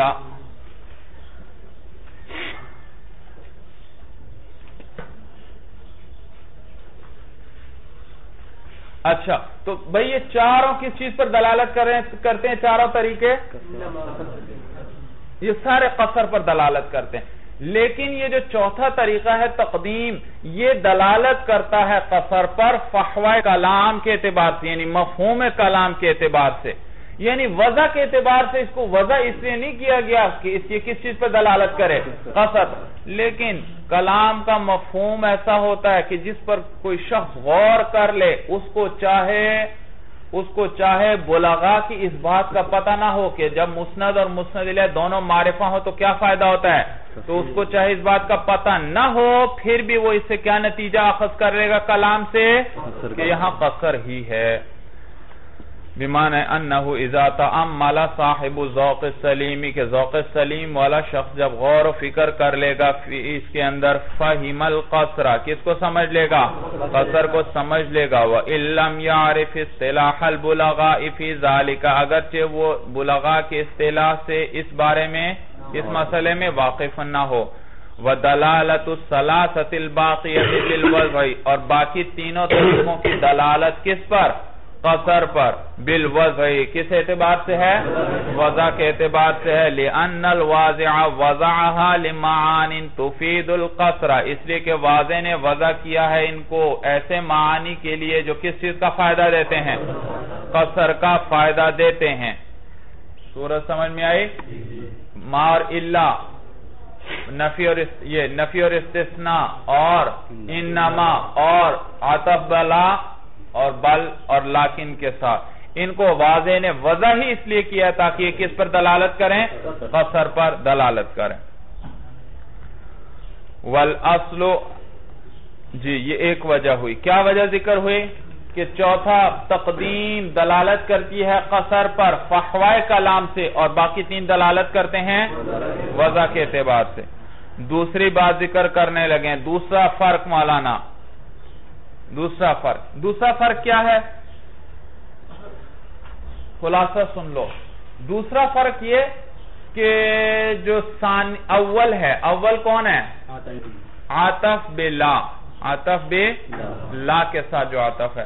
کہ آتف بے لا وہاں پر تصریح ہو اس میں تصریح ہوتی ہے مثبت کی بھی اور منفی کی بھی، جبکہ باقی تینوں طریقوں میں صرف مثبت کی سراحت ہوتی ہے۔ منفی کی سراحت دیکھیے، آپ نے کہا جانی زید لا عامرون جانی زید لا تو مثبت جس کے لیے مجیعت ثابت کی زید، اس کا بھی عبارت میں ذکر ہے۔ اور جس سے نفی کی حمر اس کا بھی عبارت میں؟ تو اس میں اصل یہ ہے کہ سراحت ہونی چاہیے مثبت کی بھی اور منفی کی بھی۔ جبکہ باقی تین طریقوں میں صرف کس کی مثبت ذکر ہوگا منفی؟ ما زیدن۔ یہ یوں کہیں۔ ما زیدن اللہ قائمن۔ تو زید کے لیے کیا ثابت کیا آپ نے؟ قیام۔ تو جو چیز نفی کی وہ مذکور ہے تو صرف مثبت مذکور ہے۔ اسی طرح آپ کہتے ہیں زید قائمو تو آپ نے قیام صرف زید کے لیے ثابت کیا اور نفی کس سے کی؟ عمر سے کی۔ تو عمر ذکر ہے نہیں۔ تو اسی طرح باقی طریقوں میں مثبت صرف ذکر ہوتا ہے جبکہ عطف بلا کے اندر مثبت پر بھی تصراحت ہوتی ہے اور منفی پر بھی۔ والاصل الوجہ الثانی من وجوہ الاختلاف۔ دوسری وجہ یعنی وجوہ اختلاف میں سے کیا ہے؟ ان الاصل فی الاولی کہ اول میں اصل کیا ہے؟ اول کون تھا؟ عاطف طریق العطفی یعنی عاطف کا جو طریقہ ہے اس میں اصل کیا ہے؟ النص علی المثبت والمنفی، یہ کہ تصریح ہو مولانا کس بار مثبت پر بھی اور منفی پر بھی۔ کما مرہ، جیسے کہ مثالیں گزر گئیں۔ فلا یترک النص علیہما الا لکراہت لتناب۔ کہتے ہیں بھائی، جہاں لا کے عطف کریں۔ آپ جس کا اس بات کر رہے ہیں، اس کو بھی ذکر کرنا چاہیے، جس کی نفی کر رہے ہیں، اس کو بھی آپ کو ذکر کرنا چاہیے۔ ہاں کبھی کبھار آپ مثبت کو تو ذکر کرتے ہیں، منفی کی سراحت نہیں کرتے یعنی اس کی پوری تفصیل بیان نہیں کرتے۔ وہ بھی بعض اوقات ایسا کر لیا جاتا ہے جبکہ آپ طوالت سے بچنا چاہتے ہوں۔ کیونکہ اس کے ساتھ ذکر کرنے سے کلام لمبا ہو رہا تھا، تو آپ طوالت سے بچنے کے لیے کیا کرتے ہیں؟ سراحت مثال کے طور پر ایک شخص کہتا ہے زید یعلم النحو والتصریف والعروض۔ زید نحو بھی جانتا ہے، صرف بھی جانتا ہے اور علم عروض بھی جانتا ہے۔ آپ نے کہا زید یعلم النحو زید صرف کیا جانتا ہے؟ اب عطب اللہ میں کرنا چاہتا ہوں۔ جب میں نے نحو کا اس بات کیا تو نفی کس کی کروں گا؟ تصریف اور عروض کی۔ تو ان دونوں کے ذکر سے کلام لمبا ہو جاتا ہے۔ تو میں صراحت نہیں کرتا دونوں کی، میں صرف کہہ دیتا ہوں لا غیرو زید یعلم النحو لا غیرو زید نحو جانتا ہے، اس کے علاوہ نہیں جانتا. دیکھو میں نے سراحت کی، باقی دونوں کی جن کی نفی کی. حالانکہ اصل یہ تھا کہ سراحت کی جاتی، میں کس کی نفی کر رہا ہوں؟ لیکن میں نے سراحت کسے ترک کر دیا؟ طوالت سے بچنے کے لیے کسی وجہ سے. یا ایک شخص کہتا ہے، زید یعلم النحو. وعمر وبکر زید بھی نحو جانتا ہے اور عمر بھی اور بکر بھی۔ جانتا ہے۔ میں کہتا ہوں زید یعلم النحو۔ اب نفی کس کی کروں گا؟ عمر اور بکر کی۔ کروں گا۔ لیکن اس سے کلام لمبا ہو جاتا ہے مولانا۔ اور میں چاہتا ہوں ذیق مقام کی دل نہیں کر رہا میرا بات کرنے کو۔ میں کیا کرتا ہوں؟ مختصر کلام کرنا چاہتا ہوں۔ تو اب میں کیا کہوں گا؟ لا غیرو. زید یعلم النحو لا غیرو. تو کبھی کبھار طوالت سے بچنے کے لیے اس کو ترک کر دیا جاتا ہے منفی کو۔ اگرچہ اصل کیا ہے، اس منفی پر بھی سراحت کرنی چاہیے۔ بات سمجھ میں آ گئی؟ دیکھ فلا یترک النفس علیہما، پس ان دونوں پر نفس کو ترک نہیں کیا جائے گا الا لکراہت الاتناب مگر کس وجہ سے؟ طوالت کو ناپسند کرنے کی وجہ سے۔ کما اذا قیل، جیسے کہ آپ کو کہا گیا، جیسے کہ کہا گیا، زید یعلم النحو والتصریف والعروض۔ یہ مثال ہے مولانا، ایک یا آپ سے کہا گیا، زید یعلم النحو وعمر وبکر فتقول فیہما ای فی حازین المقامین۔ تو آپ ان مقامات میں کیا کہتے ہیں؟ زید یعلم النحو لا غیرو زید نحو جانتا ہے؟ غیر نہیں جانتا۔ اب یہ دونوں کا جواب بن سکتا ہے۔ کس کا؟ زید یعنی نحو کے علاوہ نہیں۔ یا یہ معنی بھی زید کے علاوہ کوئی نحو نہیں۔ تو دونوں کا جواب یہ بن سکتا ہے۔ دیکھیے، اما فی الاولی، پہلی صورت کے اندر مولانا فمانا اس کا معنی یہ ہوگا۔ پہلی کون سی صورت تھی؟ مخاطب نے کیا کہا تھا؟ زید یعلم النحو والتصریف اول اس کے جواب میں اگر آپ نے کہا، تو اس صورت میں معنی ہوگا، لا غیر النحوی ای لتصریف لتصریفا نہ تصریف کو جانتا ہے اور نہ وہ اما فی الثانی کون سا تھا؟ مخاطب نے کیا کہا تھا؟ زید یعلم النحو و عمر و اس کے مقابلے میں اگر آپ نے یہ کہا تھا، تو اما فی الثانی فمانا ہو اس کا معنی کیا ہوگا؟ ولا غیر زید غیر زید کے علاوہ نہیں جانتا، الا عمر ولا بکر، عمر اور بکر نہیں جانتے، تو غیر زید سے عمر اور بکر مراد ہوں گے۔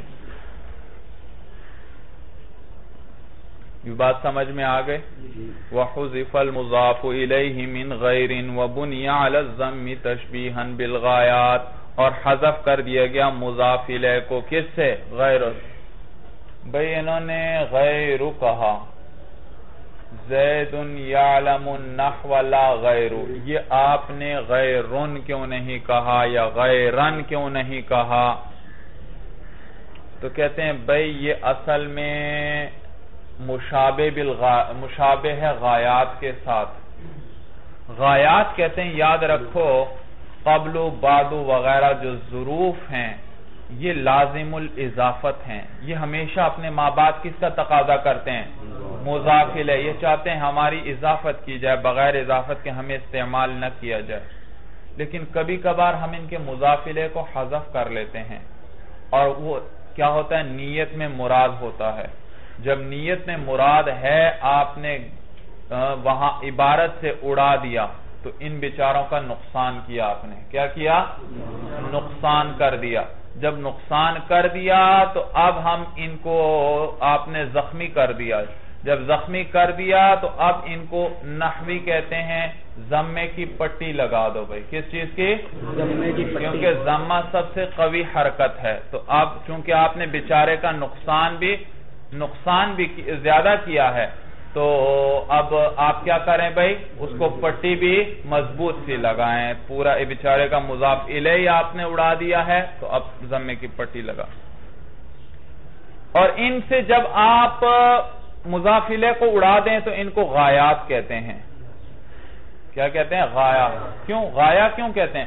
بھائی غایا کا مطلب انتہا۔ غایا کس کو کہتے ہیں؟ انتہا۔ جس پر ایک چیز کی انتہا ہوتی ہے۔ تو جب قبل اور بعدو کے ساتھ مضاف علیہ موجود تھا تو انتہا کلام کی کس پر تھی؟ مضاف علیہ پر۔ جب مضاف علیہ عبارت میں ذکر تھا تو انتہا کلام کی کس پر ہو رہی تھی؟ مضاف علیہ پر ہو رہی تھی۔ لیکن جب آپ نے اس مضاف علیہ کو حذف کر دیا تو اب غایا وہ مضاف علیہ نہ رہا، بلکہ غایا خود کون بن گیا؟ قبل اور بعدو پر ہی انتہا ہونے ہو گئی، تو اب یہ خود غایا بن گئے۔ تو ان کو کیا کہتے ہیں؟ غایا تو یہاں پر بھی مولانا یہی بات کریں گے، دیکھیے وَحُزِفَ الْمُضَافُ إِلَيْهِ مِنْ غَيْرٍ، حذف کر دیا گیا مضاف علیہ کو غیر سے، وَبُنِيَ عَلَى الزَّمِّ اور مبنی کر دیا گیا اس کو کس پر؟ زمے پر، کیونکہ نقصان کیا آپ نے۔ تشبیحاً بالغایات، کس کے ساتھ مشابہت دیتے ہوئے؟ غایات کے ساتھ مشابہت دیتے ہوئے۔ وَذَكَرَ بَعْضُ النُّحَاتِ أَنَّ لَا فِي لَا غَيْرُ لَيْسَتْ عَاطِفَةً، بَلْ لِنَفْيِ الْجِنْسِ اور ذکر کیا بعض نحویوں نے کہ لا جو ہے کس کے اندر؟ لا غیرو کے اندر۔ لیست عاطفتن یہ عاطفہ نہیں ہے، بل نفی الجنس۔ یہ کس لیے ہے؟ نفی جنس کے لیے ہے۔ بھئی ہماری بحث چل رہی ہے لائے عاطفہ کے اندر۔ لائن نفی جنس کی بات نہیں ہو رہی۔ تو بعضوں نے کہا یہ جو آیا نا، لا غیرو کے اندر، لا یہ لائے عاطفہ نہیں ہے بلکہ لائے نفی جنس ہے۔ تو یہ ہماری بحث سے پھر کیا ہوا؟ خارج ہوا کہ ہماری بحث چل رہی ہے لائے عاطفہ۔ سمجھ میں؟ تو یہ مصنف پر رد ہے اس مذہب کے اعتبار سے کہ اگر وہ مذہب لے لیا جائے تو پھر آپ کو یہ لا غیرو کی مثال ذکر ہی نہیں کرنی چاہیے کیونکہ لا غیرو تو کے اندر لا تو عاطفہ رہا ہی بلکہ یہ تو لا نفی جنس ہو گیا اور اس کی خبر محضوف ہوئی۔ تو قصر الموصوف میں کیا نکالیں گے؟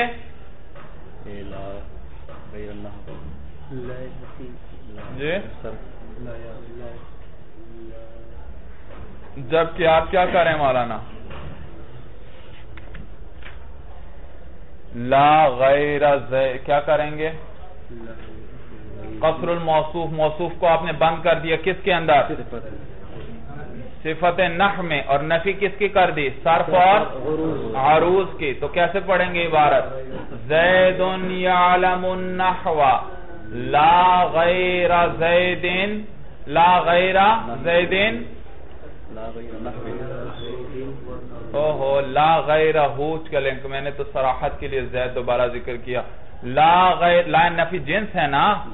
لا غیر ہو معلوم لہو لا غیرہ معلوم بھئی صرف نحو جانتا ہے، کچھ اور جانتا تو یہی بات کر رہا ہوں۔ لا غیرہ معلوم لہو ہاں غیر نحو کے علاوہ اور کوئی چیز اس کو معلوم تو ہو ضمیر نحو کو راجع اور اگر یہ قصر الصفت کی مثال بنائے تو یوں ہوگی زید یعلم النحو، زید ہی نحو جانتا ہے عمر اور بکر تو یوں کہیں گے، لا غیرو کہا لا غیر، لا غیرہ عالم لہو لا غیرہ عالم۔ زید ہی نحو جانتا ہے اب ہو ضمیر زید کو، زید کے علاوہ لا غیرہ زید کے علاوہ عالم لہو کوئی عالم اس کا نہیں۔ نہیں ہے۔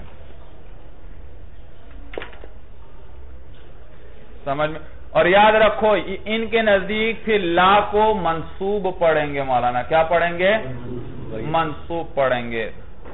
او نحوہو تو اس کے لیے لا غیرو وغیرہ لاتے ہیں۔ طوالت کی وجہ سے آپ لا غیرو لائیں گے۔ او نحوہو یا اس جیسے کوئی الفاظ اے نحو لا غیرو۔ نحو لا غیر لا غیر جیسے الفاظ لائیں گے، مثال کے طور پر لا ما سواہو لا ما زید یعلم النحو، لا ما سواہو یا کہیں گے لا من عداہو زید یعلم النحو، لا من عداہو وما اشبہ ذالک، یہ اس کے مشابہ والاصل فی الثلاثت الباقیت اور اصل باقی تینوں کے اندر النص علی المثبت فقط، کہ تصریف کس پر ہو صرف؟ مثبت پر ہو، دون المنفی، نہ کہ منفی پر وہ ظاہر، اور یہ بات تو ظاہر ہے کہ وہاں صرف مثبت کا ذکر ہوتا ہے، منفی کا ذکر نہیں۔ جی۔ کتنے ضابطے کتنے وجوہ اختلاف ذکر ہوئیں؟ دو۔ دو۔ ایک کیا؟ یہ یاد کرتے جاؤ بھئی یہ چلتی بڑھتی جائیں گی، ساتھ دہراتے جائیں گے ہم۔ پہلی وجہ اختلاف کیا؟ کہ تقدیم کے اندر دلالت ہے قصر پر اعتبار فحوائے کلام کے، اور باقی کے اندر دلالت ہے قصر پر اعتبار وضع کے۔ دوسرا فرق یہ مولانا کہ لا کے ساتھ جو عطف ہے، وہاں پر مثبت اور منفی دونوں کی تصریح ہونی چاہیے، اصل یہ ہے۔ اور باقیوں کے اندر اصل یہ ہے کہ صرف مثبت پر کیا ہونی چاہیے؟ اس کی سراحت ہونی چاہیے۔ تیسری وجہ مولانا والنفیو اے نفی بلا نفی سے کیا مراد ہے؟ نفی بلا اے والنفیو اے الوجہ الثالث من وجوہ الاختلاف. وجوہ اختلاف میں سے تیسری وجہ یہ کہ ان نفی بلال عاطفتی دیکھا نفی سے کیا مراد ہے؟ نفی بلال عاطف کہ نفی لا عاطفہ کے ساتھ جو ہے لا یجامع الثانیہ. یہ دوسرے کے ساتھ جمع کون؟ دوسرا کون تھا؟ نفی اور استثناء تھا. تو لا لا عاطفہ نفی اور استثناء کے ساتھ جمع نہیں ہو سکتا۔ لا یجامع الثانیہ آنی نفی والاستثناء یعنی کہ نفی اور استثناء کے ساتھ فلا یصح ما زید الا قائم لا قاعد۔ لہذا یہ کہنا صحیح نہیں مولانا۔ ما زید الا قائم لا قاعد بھئی نفی اور استثناء کے ساتھ لا لے کر آئے، یہ درست نہیں۔ وقد يقع مثل مثل ذلك في المصنفین۔ اور تحقیق واقع ہوا ہے اس قسم کے مثل کلام مصنفین کے کلام میں اس قسم کی بات واقع ہوئی ہے۔ یعنی کلام اللہ اور بلغا کے کلام میں اس قسم کی عبارت نہیں آتی کہ لا آ رہا ہو کس کے ساتھ ما اور اللہ کے ساتھ۔ آ رہا ہو۔ ہاں بعض مصنفین نے ایسا کیا یہ رد ہے دراصل مولانا علامہ زمخشری پر کہ انہوں نے اپنی تفسیر کے اندر بعض جگہ پر ایسی عبارت ذکر کی ہے کہ ما اور اللہ کے بعد پھر لا لے کر آئے ہیں وہ بھئی لأن شرط المنفی بلا العاطفة ان لا يكون ذلك المنفی منفیا قبلها بغیرها اس لیے کہ منفی من منفی بھی لا کی شرط یہ ہے اللہ یکون ذالک المنفی منفیا قبلها بغیر کہ وہ جس کی آ دیکھئے وہ ترجمہ دیکھو مشکل ہے.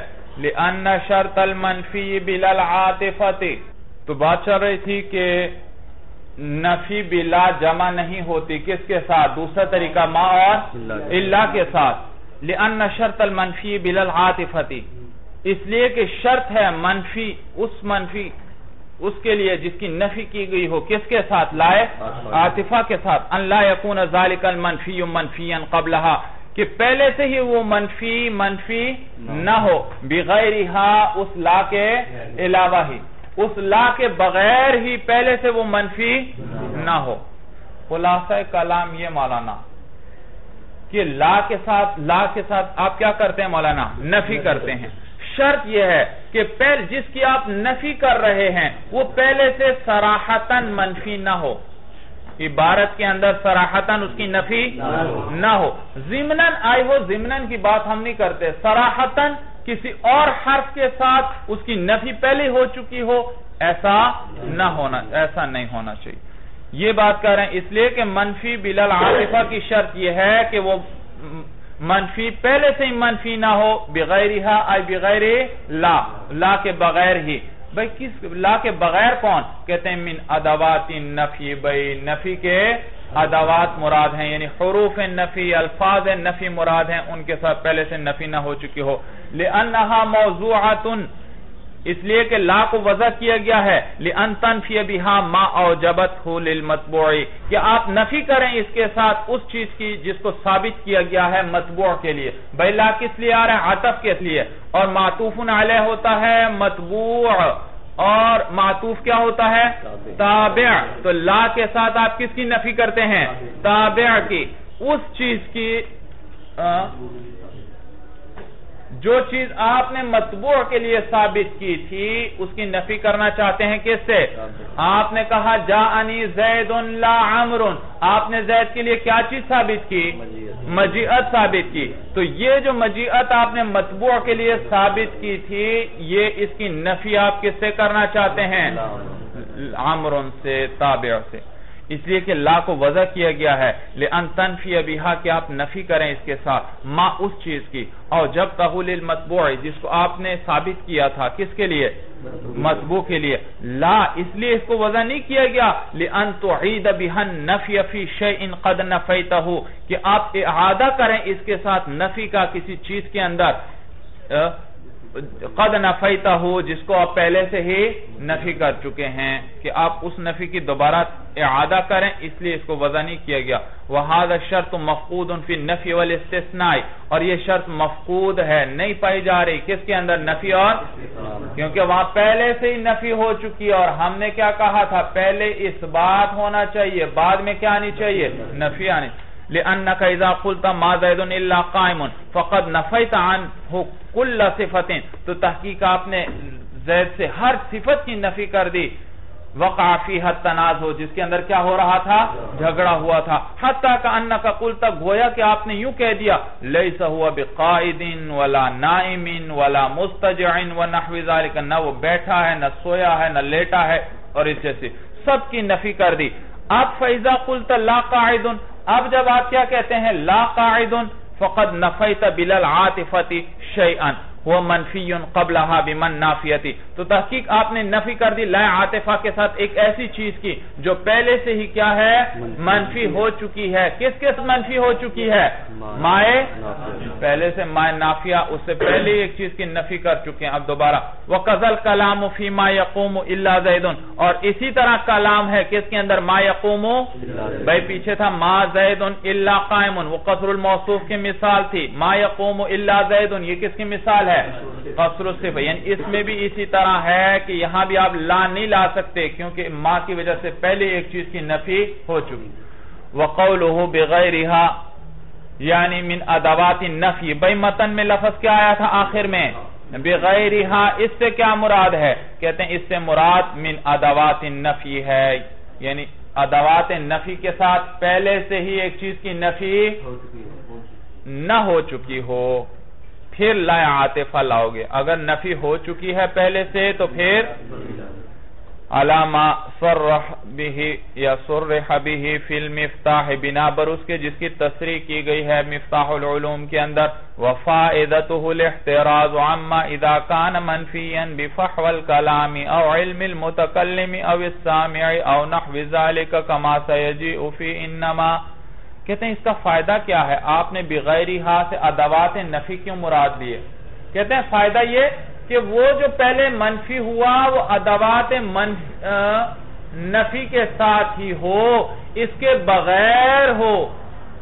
یعنی مفہوم کلام سے پہلے سے کلام بتلا رہا ہے، یا مولانا سامع کو پتا ہے، یا متکلم کو پتا ہے، یا اس جیسی کسی اور کی چیز کی وجہ سے نفی تو ہے۔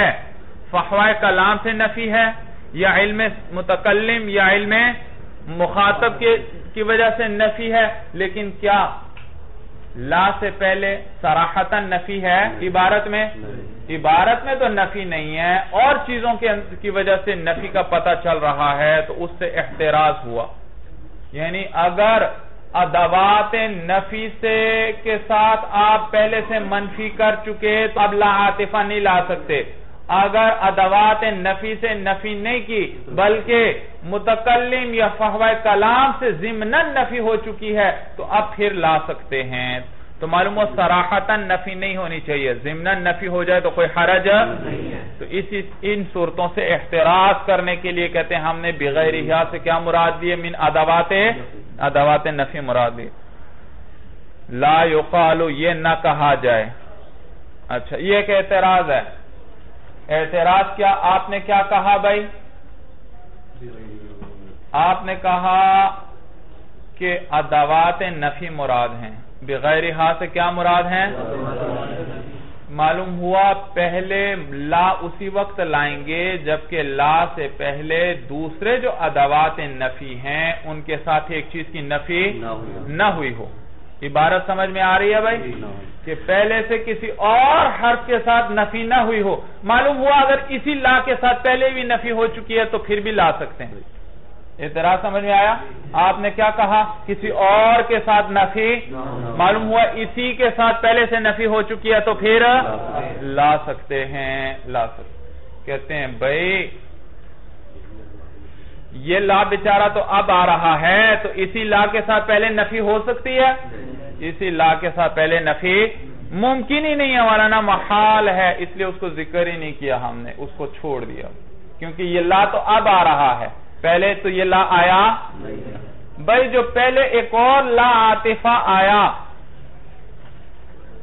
دیکھیے آگے لا یقالو یہ نہ کہا جائے ہاں یقتضی جواز ان یکون منفیا قبلها بالعاطفتی.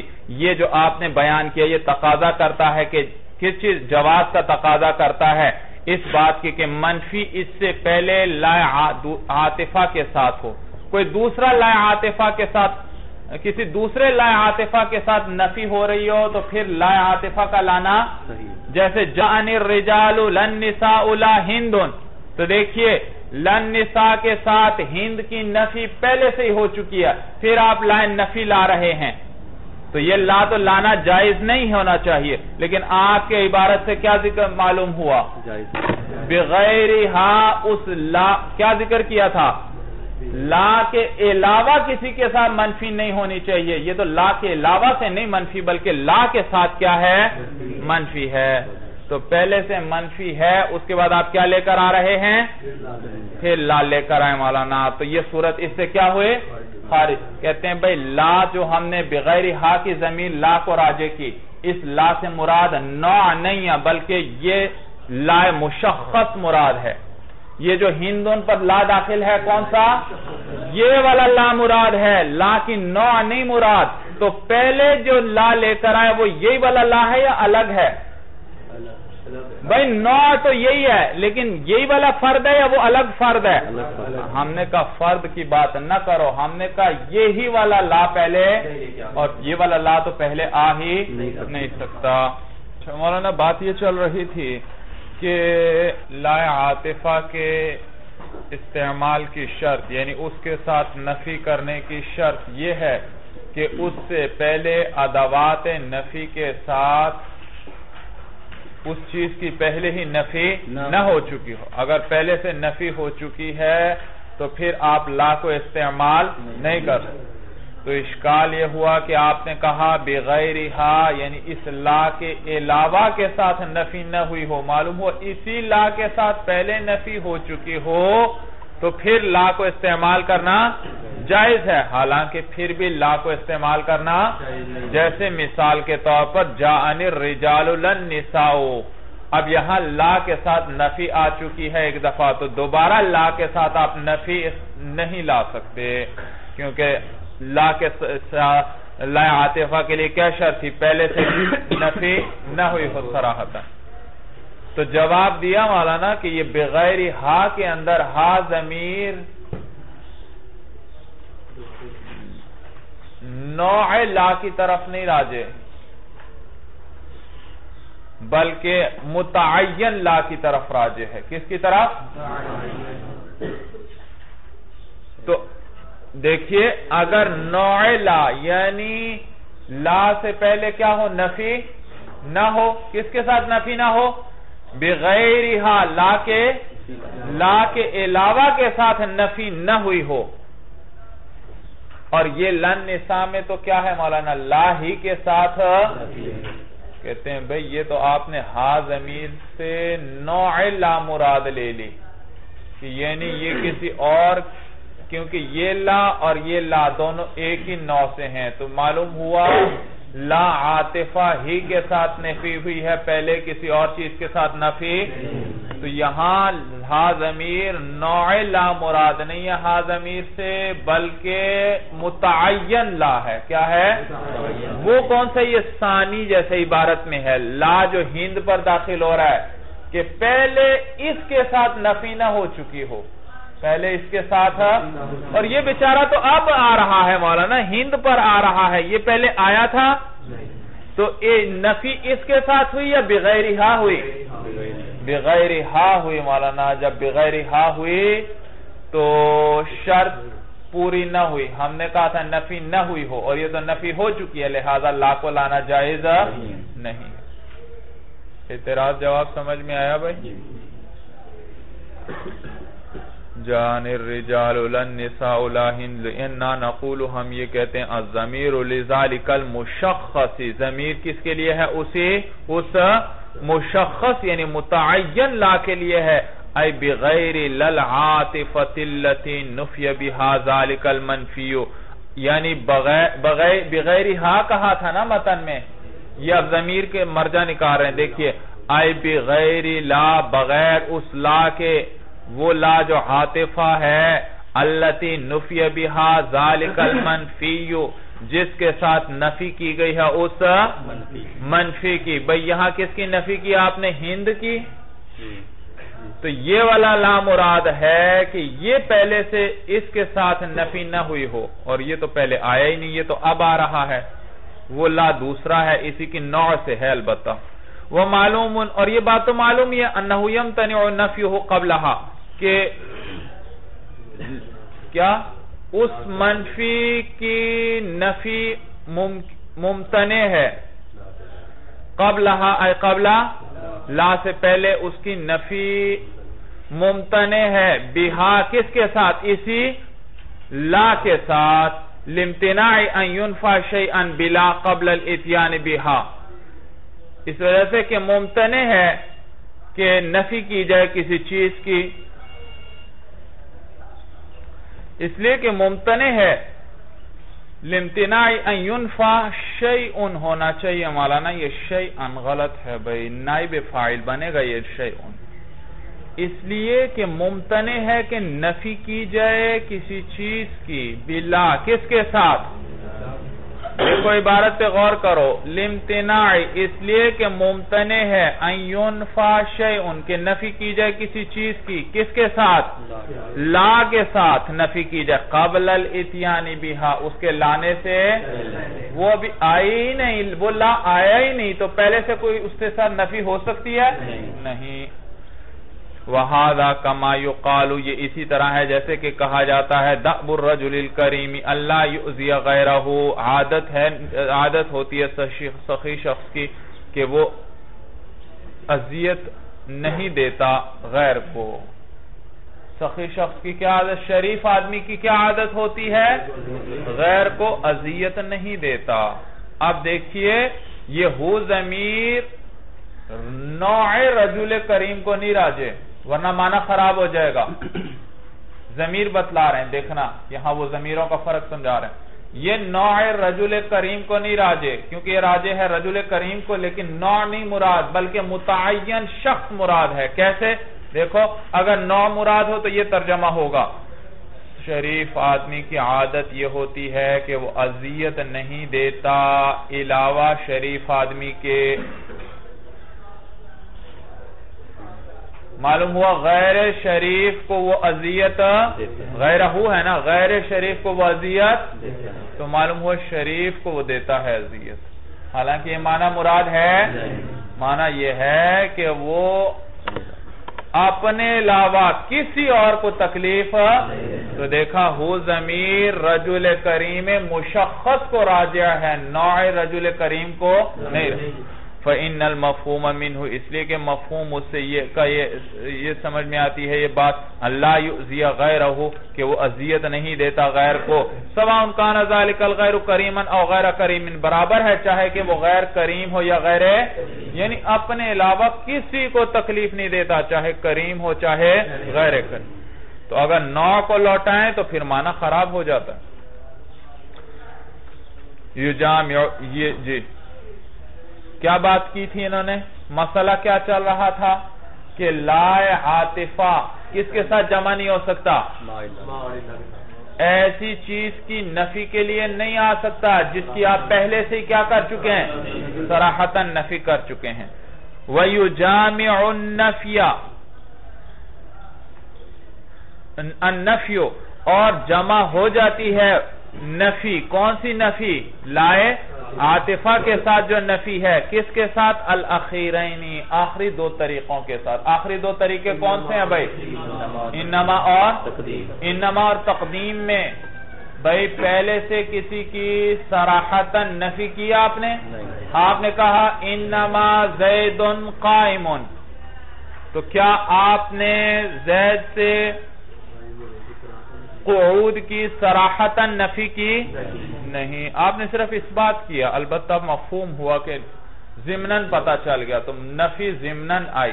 اور میں نے پہلے ضابطہ بتلایا تھا کہ جہاں سراحتاً پہلے نفی ہو تو لا عاطفہ نہیں لا سکتے۔ جہاں سراحتاً نہ ہو زمنن نفی ہو تو لا عاطفہ۔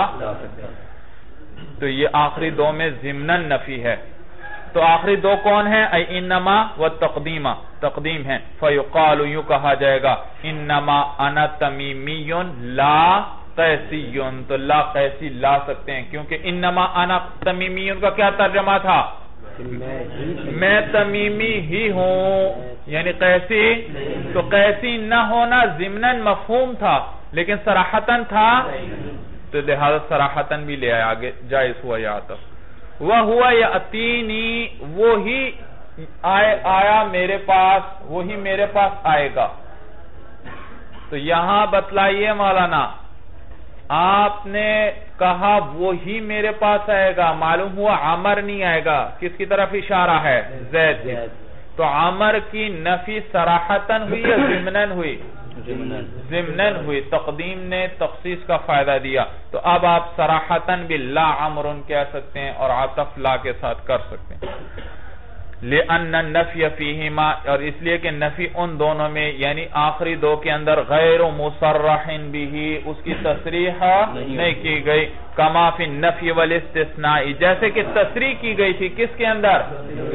استثناء میں فلا یکون المنفی بلالعاطفت منفیا بغیرها من ادوات النفی پس نہ ہوا وہ جس کی نفی کی گئی تھی کس کے ساتھ؟ لا عاطفہ کے ساتھ۔ وہ جس کی نفی لا عاطفہ سے ساتھ کی گئی تھی، وہ منفی بغیر لا نہ ہوا۔ منفی یعنی لا کے ساتھ کیا؟ لا کے علاوہ کے ساتھ وہ منفی نہیں ہوا من ادوات النفی۔ ہم نے بھی یہی کہا تھا نا، لا عاطفہ کے لانے کی کیا شرط ہے کہ پہلے سے کسی اور کے ساتھ اس کی نفی اور یہاں بھی کسی اور کے ساتھ یہاں نفی نہیں۔ وَهَذَا كَمَا يُقَالُ۔ یہ اسی طرح ہے مولانا، جیسے کہا جائے، امتنع زید عن المجی الى عمر امتنع زید عن المجی الى عمر دیکھئے بھائی، آپ نے کیا کہا؟ زید رک گیا، کس چیز سے؟ آنے زید باز رہا آنے سے۔ لا عمر عمر نہیں رہا۔ تو دیکھئے جب آپ نے کہا، امتنع زید عن المجیع زید آنے سے بعد رہا، تو آپ نے زید کے لیے امتناع امتناع مجیعت ثابت کر دیا۔ کیا ثابت کیا؟ یا یوں کہیں آپ نے امتناع زید ثابت کیا مجیعت سے۔ امتناع زید ثابت کیا؟ تو آپ نے اس بات کیا یا نفی کی؟ اس بات کر رہے ہیں امتناع کا کیا کر رہے ہیں۔ باز رہنے کا اس بات کر رہے ہیں۔ ہاں وہ الگ بات ہے۔ باز رہنا ہے کیا؟ نفی ہے باز رہنا ہے کیا؟ نفی ہے تو آپ نے تو جملے کے اندر کہیں لا آیا ہے بھائی؟ نہیں۔ امتناع زید ہاں آپ نے زید کے مجیعت سے امتناع زید ثابت کیا۔ تو یہاں نفی البتہ امتناع کا معنی ہے باز رہنا۔ اور باز رہنا کیا ہے؟ نفی ہے۔ تو معلوم ہو اس بات نفی کیا اور اس بات نفی دراصل کیا ہے؟ نفی ہی ہے۔ تو نفی سراحتن آئی یا زمنن آئی؟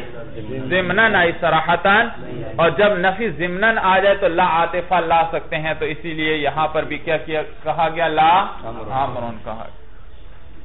فَإِنَّهُ يَدُلُّ عَلَى نَفْيِ الْمَجِئِ عَنْ زَيْدٍ۔ اس لیے کہ یہ عبارت دلالت کرتی ہے، مجیعت کی نفی پر زید سے، لیکن لا صریحاً، بس زمنن لیکن صراحتاً نہیں، بلکہ زمنن وَإِنَّمَا مَعْنَاهُ، اور اس کا معنی کیا ہے؟ معنی صریح کیا ہے اس عبارت کا؟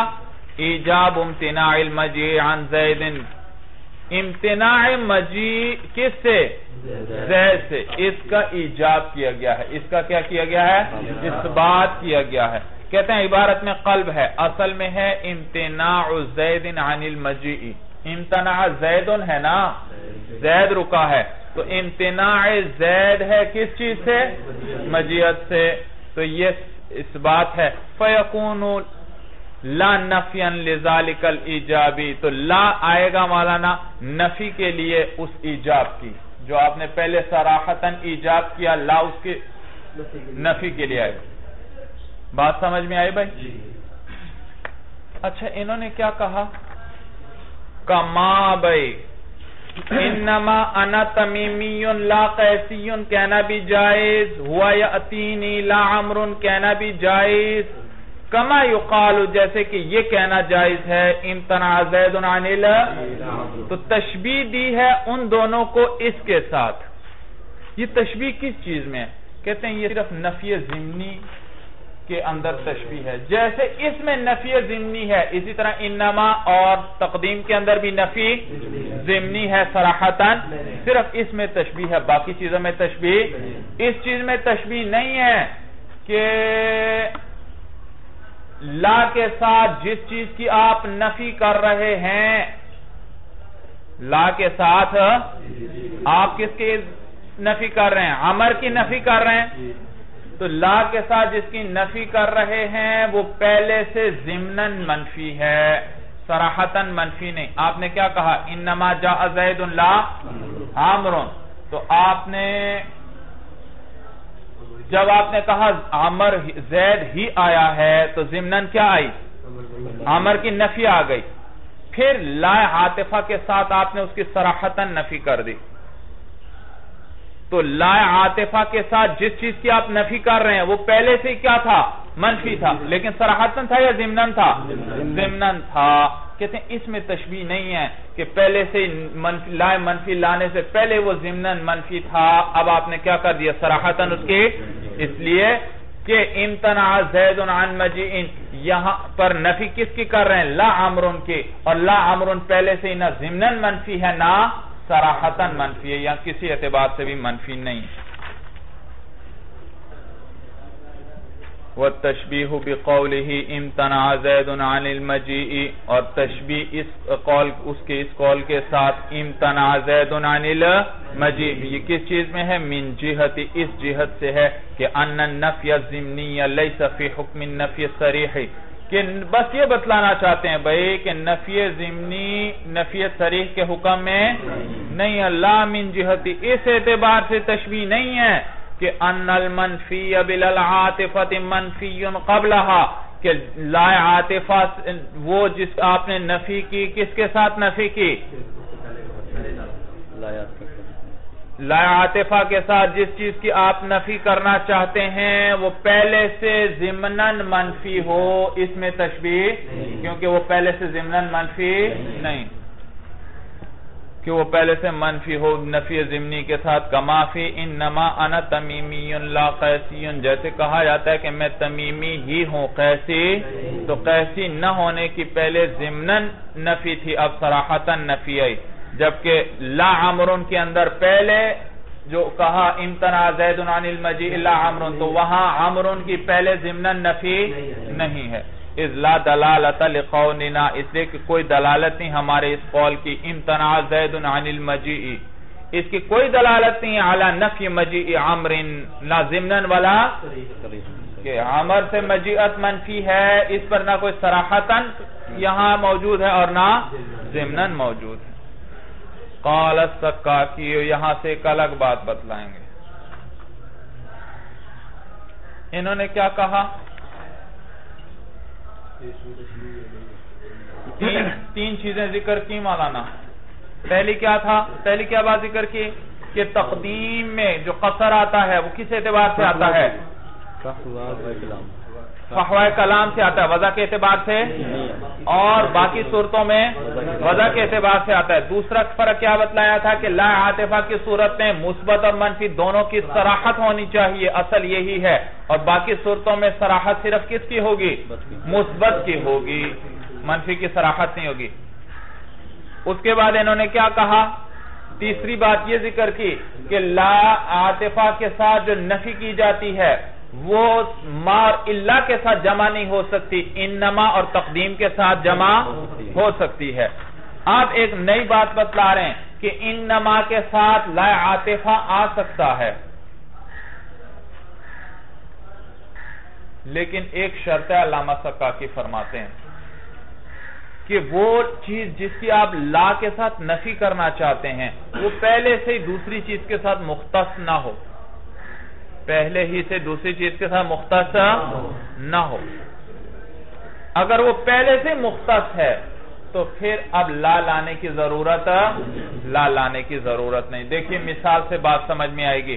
قال سکاکی اور علامہ سکاکی فرماتے ہیں، شرط مجامعاتی ہی، جمع، آپس، باہم جمع ہونے کی شرط۔ کس کے لیے؟ نفی بلال عاطفہ۔ بھئی نفی کس کے ساتھ لائے؟ یہ جمع ہونے کی شرط کیا ہے؟ لسالسی کس کے ساتھ بھئی سالس یعنی انما کے ساتھ۔ اللہ یکون الوصف مختصا بالموصوفی کہ وہ وصف مختص بالموصوف نہ ہو مولانا۔ لتحصیل الفائدتی، تاکہ فائدہ بھی حاصل ہو کوئی۔ اگر وہ پہلے سے خاص ہے تو لا نے کوئی فائدہ دیا؟ انما بھی آ چکا ہے حسر کے لیے۔ تو وہ حسر کی وجہ سے پہلے ہی مختص بھی تھا، اب حسر کی وجہ سے مزید بھی پتہ چل چکا تنبیح بھی ہو چکی۔ اب لا کے ساتھ پھر نفی کرنے کا کیا فائدہ؟ وہ تو چیز ہی مختص ہے، کسی غیر میں پائی ہی دیکھو، مثال سے بات سمجھ آئے گی۔ نحو انما یستجیب اللذین یسمعون۔ مثال کے طور پر انما آیا۔ قبول وہی لوگ کرتے ہیں جو سنتے ہیں۔ حضور علیہ السلام سے کیا فرمایا؟ اللہ تعالیٰ نے کہ وہی لوگ قبول کرتے ہیں جو سنتے ہیں۔ اور کس کے ساتھ ذکر کیا؟ انما کے ساتھ۔ اور مولانا، قبول کرنا مختص ہے جو سننے والا ہو اسی کے ساتھ۔ بھائی، جو سنے گا وہی بات کو قبول کرے گا۔ یا غیر سننے والا بھی قبول کر سکتا ہے؟ سننے والا ہی کرے گا غیر کو پتہ ہی نہیں ہے تو وہ قبول کہاں سے کرے گا؟ تو سننے والا ہی قبول کرتا ہے۔ تو یہ قبول کرنا یہ مولانا خاص ہے کس کے ساتھ؟ سننے والے کے ساتھ۔ لہذا اب انما کے ساتھ وہ لا عاطفہ کے ساتھ نفی نہیں کر سکتے۔ علامہ سکاکی نے کہا تھا نا کہ مختص نہ ہو تو لا عاطفہ لے آؤ، اگر مختص ہو تو پھر لا عاطفہ نہ۔ تو یہ مختص ہے، یہاں لا عاطفہ نہیں لا سکتے۔ فَإِنَّهُ يُمْتَنِعُ ممتنع ہے۔ ان یقال یہ کہنا، لَلَّذِينَ لَا يَسْمَعُونَ، یوں کہیں۔ انما یستجیب الذین یسمعون قبول تو وہی کرتے ہیں جو سنتے ہیں، للذین لا یسمعون، نہ کہ وہ جو کہ سنتے نہیں۔ لئن الاستجابت لا تکون الا ممن یسمعو اس لیے کہ قبول کرنا نہیں ہوگا مگر اسی کے لیے جو کہ سنتا ہے۔ بخلاف انما یقوم الزید لا عمر بخلاف اس مثال کے کہ یہ جائز ہے مولانا۔ زید ہی کھڑا ہوتا ہے، عمر کیوں؟ از القیام لیس مما یختص بزید اس لیے کہ قیام زید کے ساتھ مختص تو خلاصہ بحث کیا ہوا؟ علامہ سکاکی نے کیا فرمایا؟ کہ انما کے ساتھ لا عاطفہ جمع ہو سکتا ہے، لیکن شرط کیا ہے کہ وہ وصف اس چیز کے ساتھ مختص، موصوف کے ساتھ مختص نہ ہو۔ اگر مختص ہو تو پھر لا کے لانے کی اجازت نہیں۔ انما کی وجہ سے جو تھوڑی بہت تنبیح کرنا تھی، آپ نے تنبیح کر دی۔ اب آپ لا کو ذکر کرتے ہیں تو یہ تو فائدہ ہی کوئی نہیں ہے، بیکار چیز کو ذکر کر رہے ہیں بھائی۔ نفی تو اس چیز کی کی جاتی ہے جہاں احتمال ہو، جب وہ پہلے سے مختص ہے تو نفی کس بات کی آپ کر رہے ہیں؟ جبکہ شیخ عبدالقاہر فرماتے ہیں، نہیں، یہ شرط نہیں حسن ہونے کی شرط ہے یہ۔ کہتے ہیں، بہتر ہے کہ وہ اس کے ساتھ لا تب لاؤ، جبکہ اس کے ساتھ مختص۔ اور اگر مختص ہو تو پھر لانا بہتر نہیں ہے۔ وقال عبد القاہر، اور شیخ عبد القاہر فرماتے ہیں، لا تحسنو ای مجامعتو لسالسی کہ جمع ہونا کس ساتھ؟ کس کا جمع ہونا؟ نفی بلا کس کے ساتھ جمع ہونا؟ تیسرا یعنی انما کے ساتھ۔ یہ بہتر نہیں ہے۔ فی الوصف المختص. کس کے اندر وصف ہے؟ اس میں بہتر نہیں ہے، اس کے لا کو لے کر آؤ. کما تحسن فی غیرہی، جیسا کہ وہ بہتر ہے غیر غیر وصف مختص میں. وہذا اقرب اقرب الى الصواب، اور یہ بات حق کے زیادہ قریب. اذ لا دلیل علی امتناع عند قصد زیادت التحقیق والتاکید اس لیے کہ علامہ سکاکی نے کہا تھا، اگر وصف مختص ہو تو لانا جائز ہی نہیں۔ اور علامہ شیخ عبد القاہر فرما رہے ہیں، اگر وصف مختص ہو تو لانا بہتر نہیں۔ تو علامہ سکاکی جواز، عدم جواز کی بات کرتے ہیں۔ اور شیخ عبد القاہر حسن اور غیر حسن ہونے کی بات کرتے ہیں۔ اور ان کے تو ان کے نزدیک ناجائز ہوا مولانا علامہ تفتازانی فرماتے ہیں بے ناجائز ہونے کی کوئی دلیل نہیں۔ ایک وصف مختص بھی ہے، پھر بھی لا لے آؤ۔ کس لیے؟ تاکہ مزید تاکید آ جائے۔ کلام میں کیا آ جائے؟ نفی کے اندر مزید تاکید آ جائے۔ اس لا دلیل علی الامتناع، اس لیے کہ امتناع ممتنع ہونے پر کوئی دلیل نہیں ہے۔ عند قصد زیادت التحقیق والتاکید جبکہ ارادہ کس چیز کا کیا جائے؟ تحقیق و تاکید کا۔ اس نفی کی تحقیق و تاکید کا جب ارادہ کیا جائے، تو پھر امتناع ممتنع ہونے پر کوئی دلیل موجود نہیں۔ وَأَصْلُ الثَّانِ جی۔ اصل ثانی سے کیا مراد ہے؟ یہ چوتھا فرق ذکر کر رہے ہیں مولانا. پہلا فرق کیا ذکر کیا؟ دوبارہ دہراؤ جلدی کرو بھائی. کیا فرق ذکر کیا؟ کہ تقدیم فحوہ کلام کی وجہ سے قصر پہ دلالت کرتی ہے اور باقی کس اعتبار سے؟ اصل وضع کے اعتبار سے دلالت کریں دوسرا فرق کیا بتا کہ لا عاطفہ کی صورت میں مثبت اور منفی دونوں کو پر تصریح ہوگی جبکہ باقیوں میں صرف مثبت پر کی تصریح ہوگی منفی کی تصریح تیسرا فرق کیا بتلایا تھا کہ نفی بلا جمع ہو سکتی ہے آخری دو کے ساتھ لیکن ما اور اللہ کے ساتھ جمع نہیں ہو سکتی۔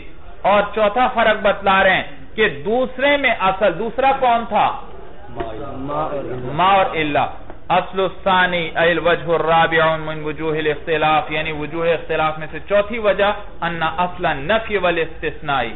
دیکھا ثانی سے کیا مراد ہے؟ نفی اور استثناء۔ کہ نفی اور استثناء کا اصل کیا ہے؟ ان یکون مستعمل له الحکم اللذی استعمل فیہ نفی۔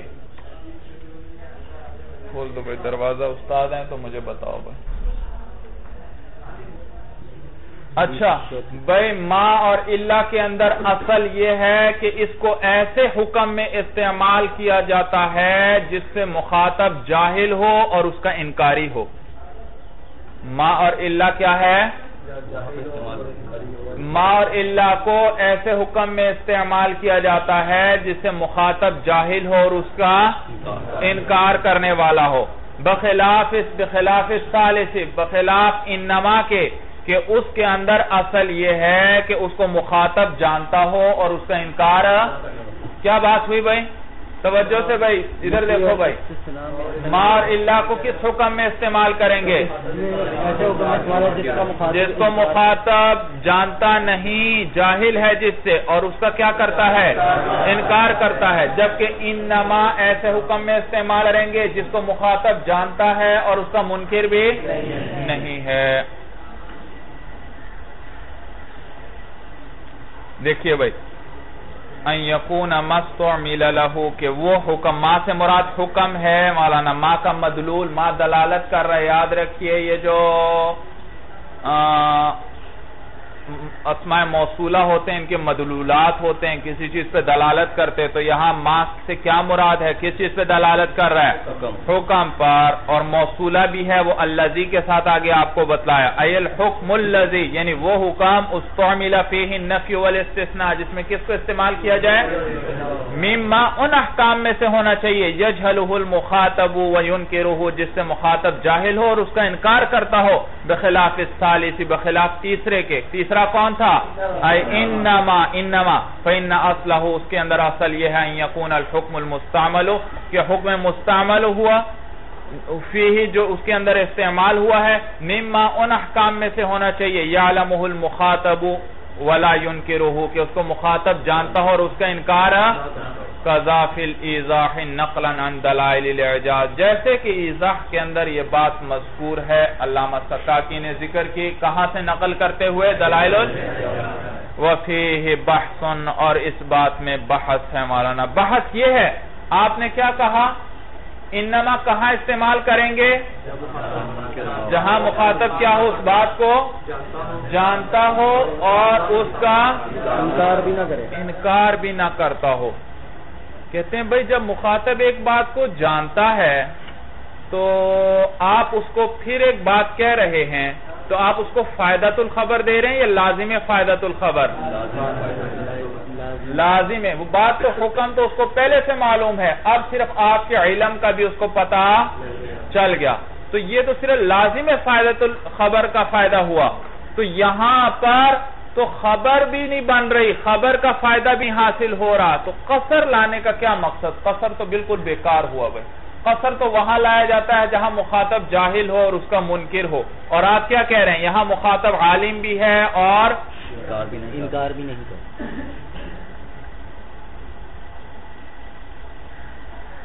وفیہ بحث لئن المخاطبہ کہ مخاطب جو ہے اذا کان عالما بالحکم وہ جب کو حکم کو جاننے والا ہے ولم یکن حکمہ مشوبا بخطا اور اس کا وہ حکام ملا بھی نہیں ہوا غلطی کے ساتھ۔ مشوب کا معنی مخلوط ملا ہوا۔ اور وہ حکام خطا کے ساتھ ملا بھی نہیں ہوا۔ یعنی مخاطب نے کی غلطی بھی نہیں ہے وہاں پر۔ لم يصح القصر، تو پھر تو قصر صحیح ہی۔ بل لا يفید الکلام سوا لازم الحکم، بلکہ کلام لازم فائدہ کے علاوہ، لازم فائدت الخبر کے علاوہ اور کسی چیز کا فائدہ ہی نہیں دے رہا۔ وجوابہ جواب یہ ہے مولانا، ان مرادہم، کہ مراد یہ ہے مولانا، کہ ان انما یکون لخبر کہ انما مطلب ایسی خبر کے لیے آئے گا۔ من شان ہی اللہ جھلہ المخاطب۔ جس کی شان یہ ہونی چاہیے کہ مخاطب کو اس مخاطب اس سے جاہل نہ ہو۔ یعنی یہ معنی نہیں ہے ہمارا کہ مخاطب کو علم ہو اور وہ اس کا منکر یہ معنی نہیں ہے کہ علم ہو بالفعل، بلکہ وہ خبر ایسی ہے کہ مخاطب کو معلوم ہونی چاہیے تھی بھائی۔ کیا تھی؟ یعنی اس کی شان یہ تھی کہ مخاطب اس سے لا علم نہ ہوتا، بلکہ اس کو جانتا۔ یعنی بالفعل نہیں جانتا بل ہاں۔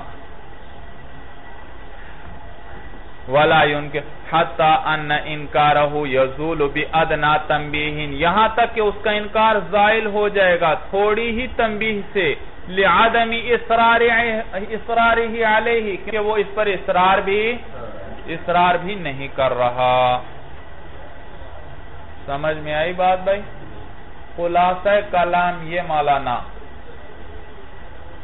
ما اور اللہ آئے گا اس مقام میں جہاں مخاطب جاہل بھی ہے اور اسی طرح ان نما بھی ایسے ہی مقام میں آئے گا جہاں مخاطب جاہل بھی ہے اور اس کا منکر بھی منکر بھی ہے بھائی منکر البتہ فرق یہ ہے کہ ما اور اللہ کے اندر تاکید ہوگی یعنی وہ منکر ہے زیادہ منکر ہے۔ اور یہاں پر زیادہ منکر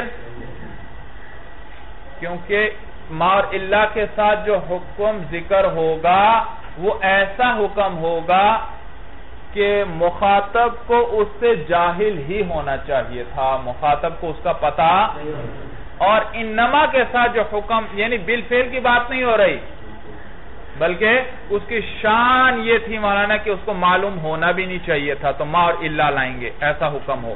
اور اگر ایسا حکم ہے جو اس کو معلوم ہونا چاہیے تھا معلوم تو نہیں ہے لیکن اس کو کیا ہے معلوم؟ ہونا چاہیے۔ تھا تو پھر کیا لے کر آئیں گے؟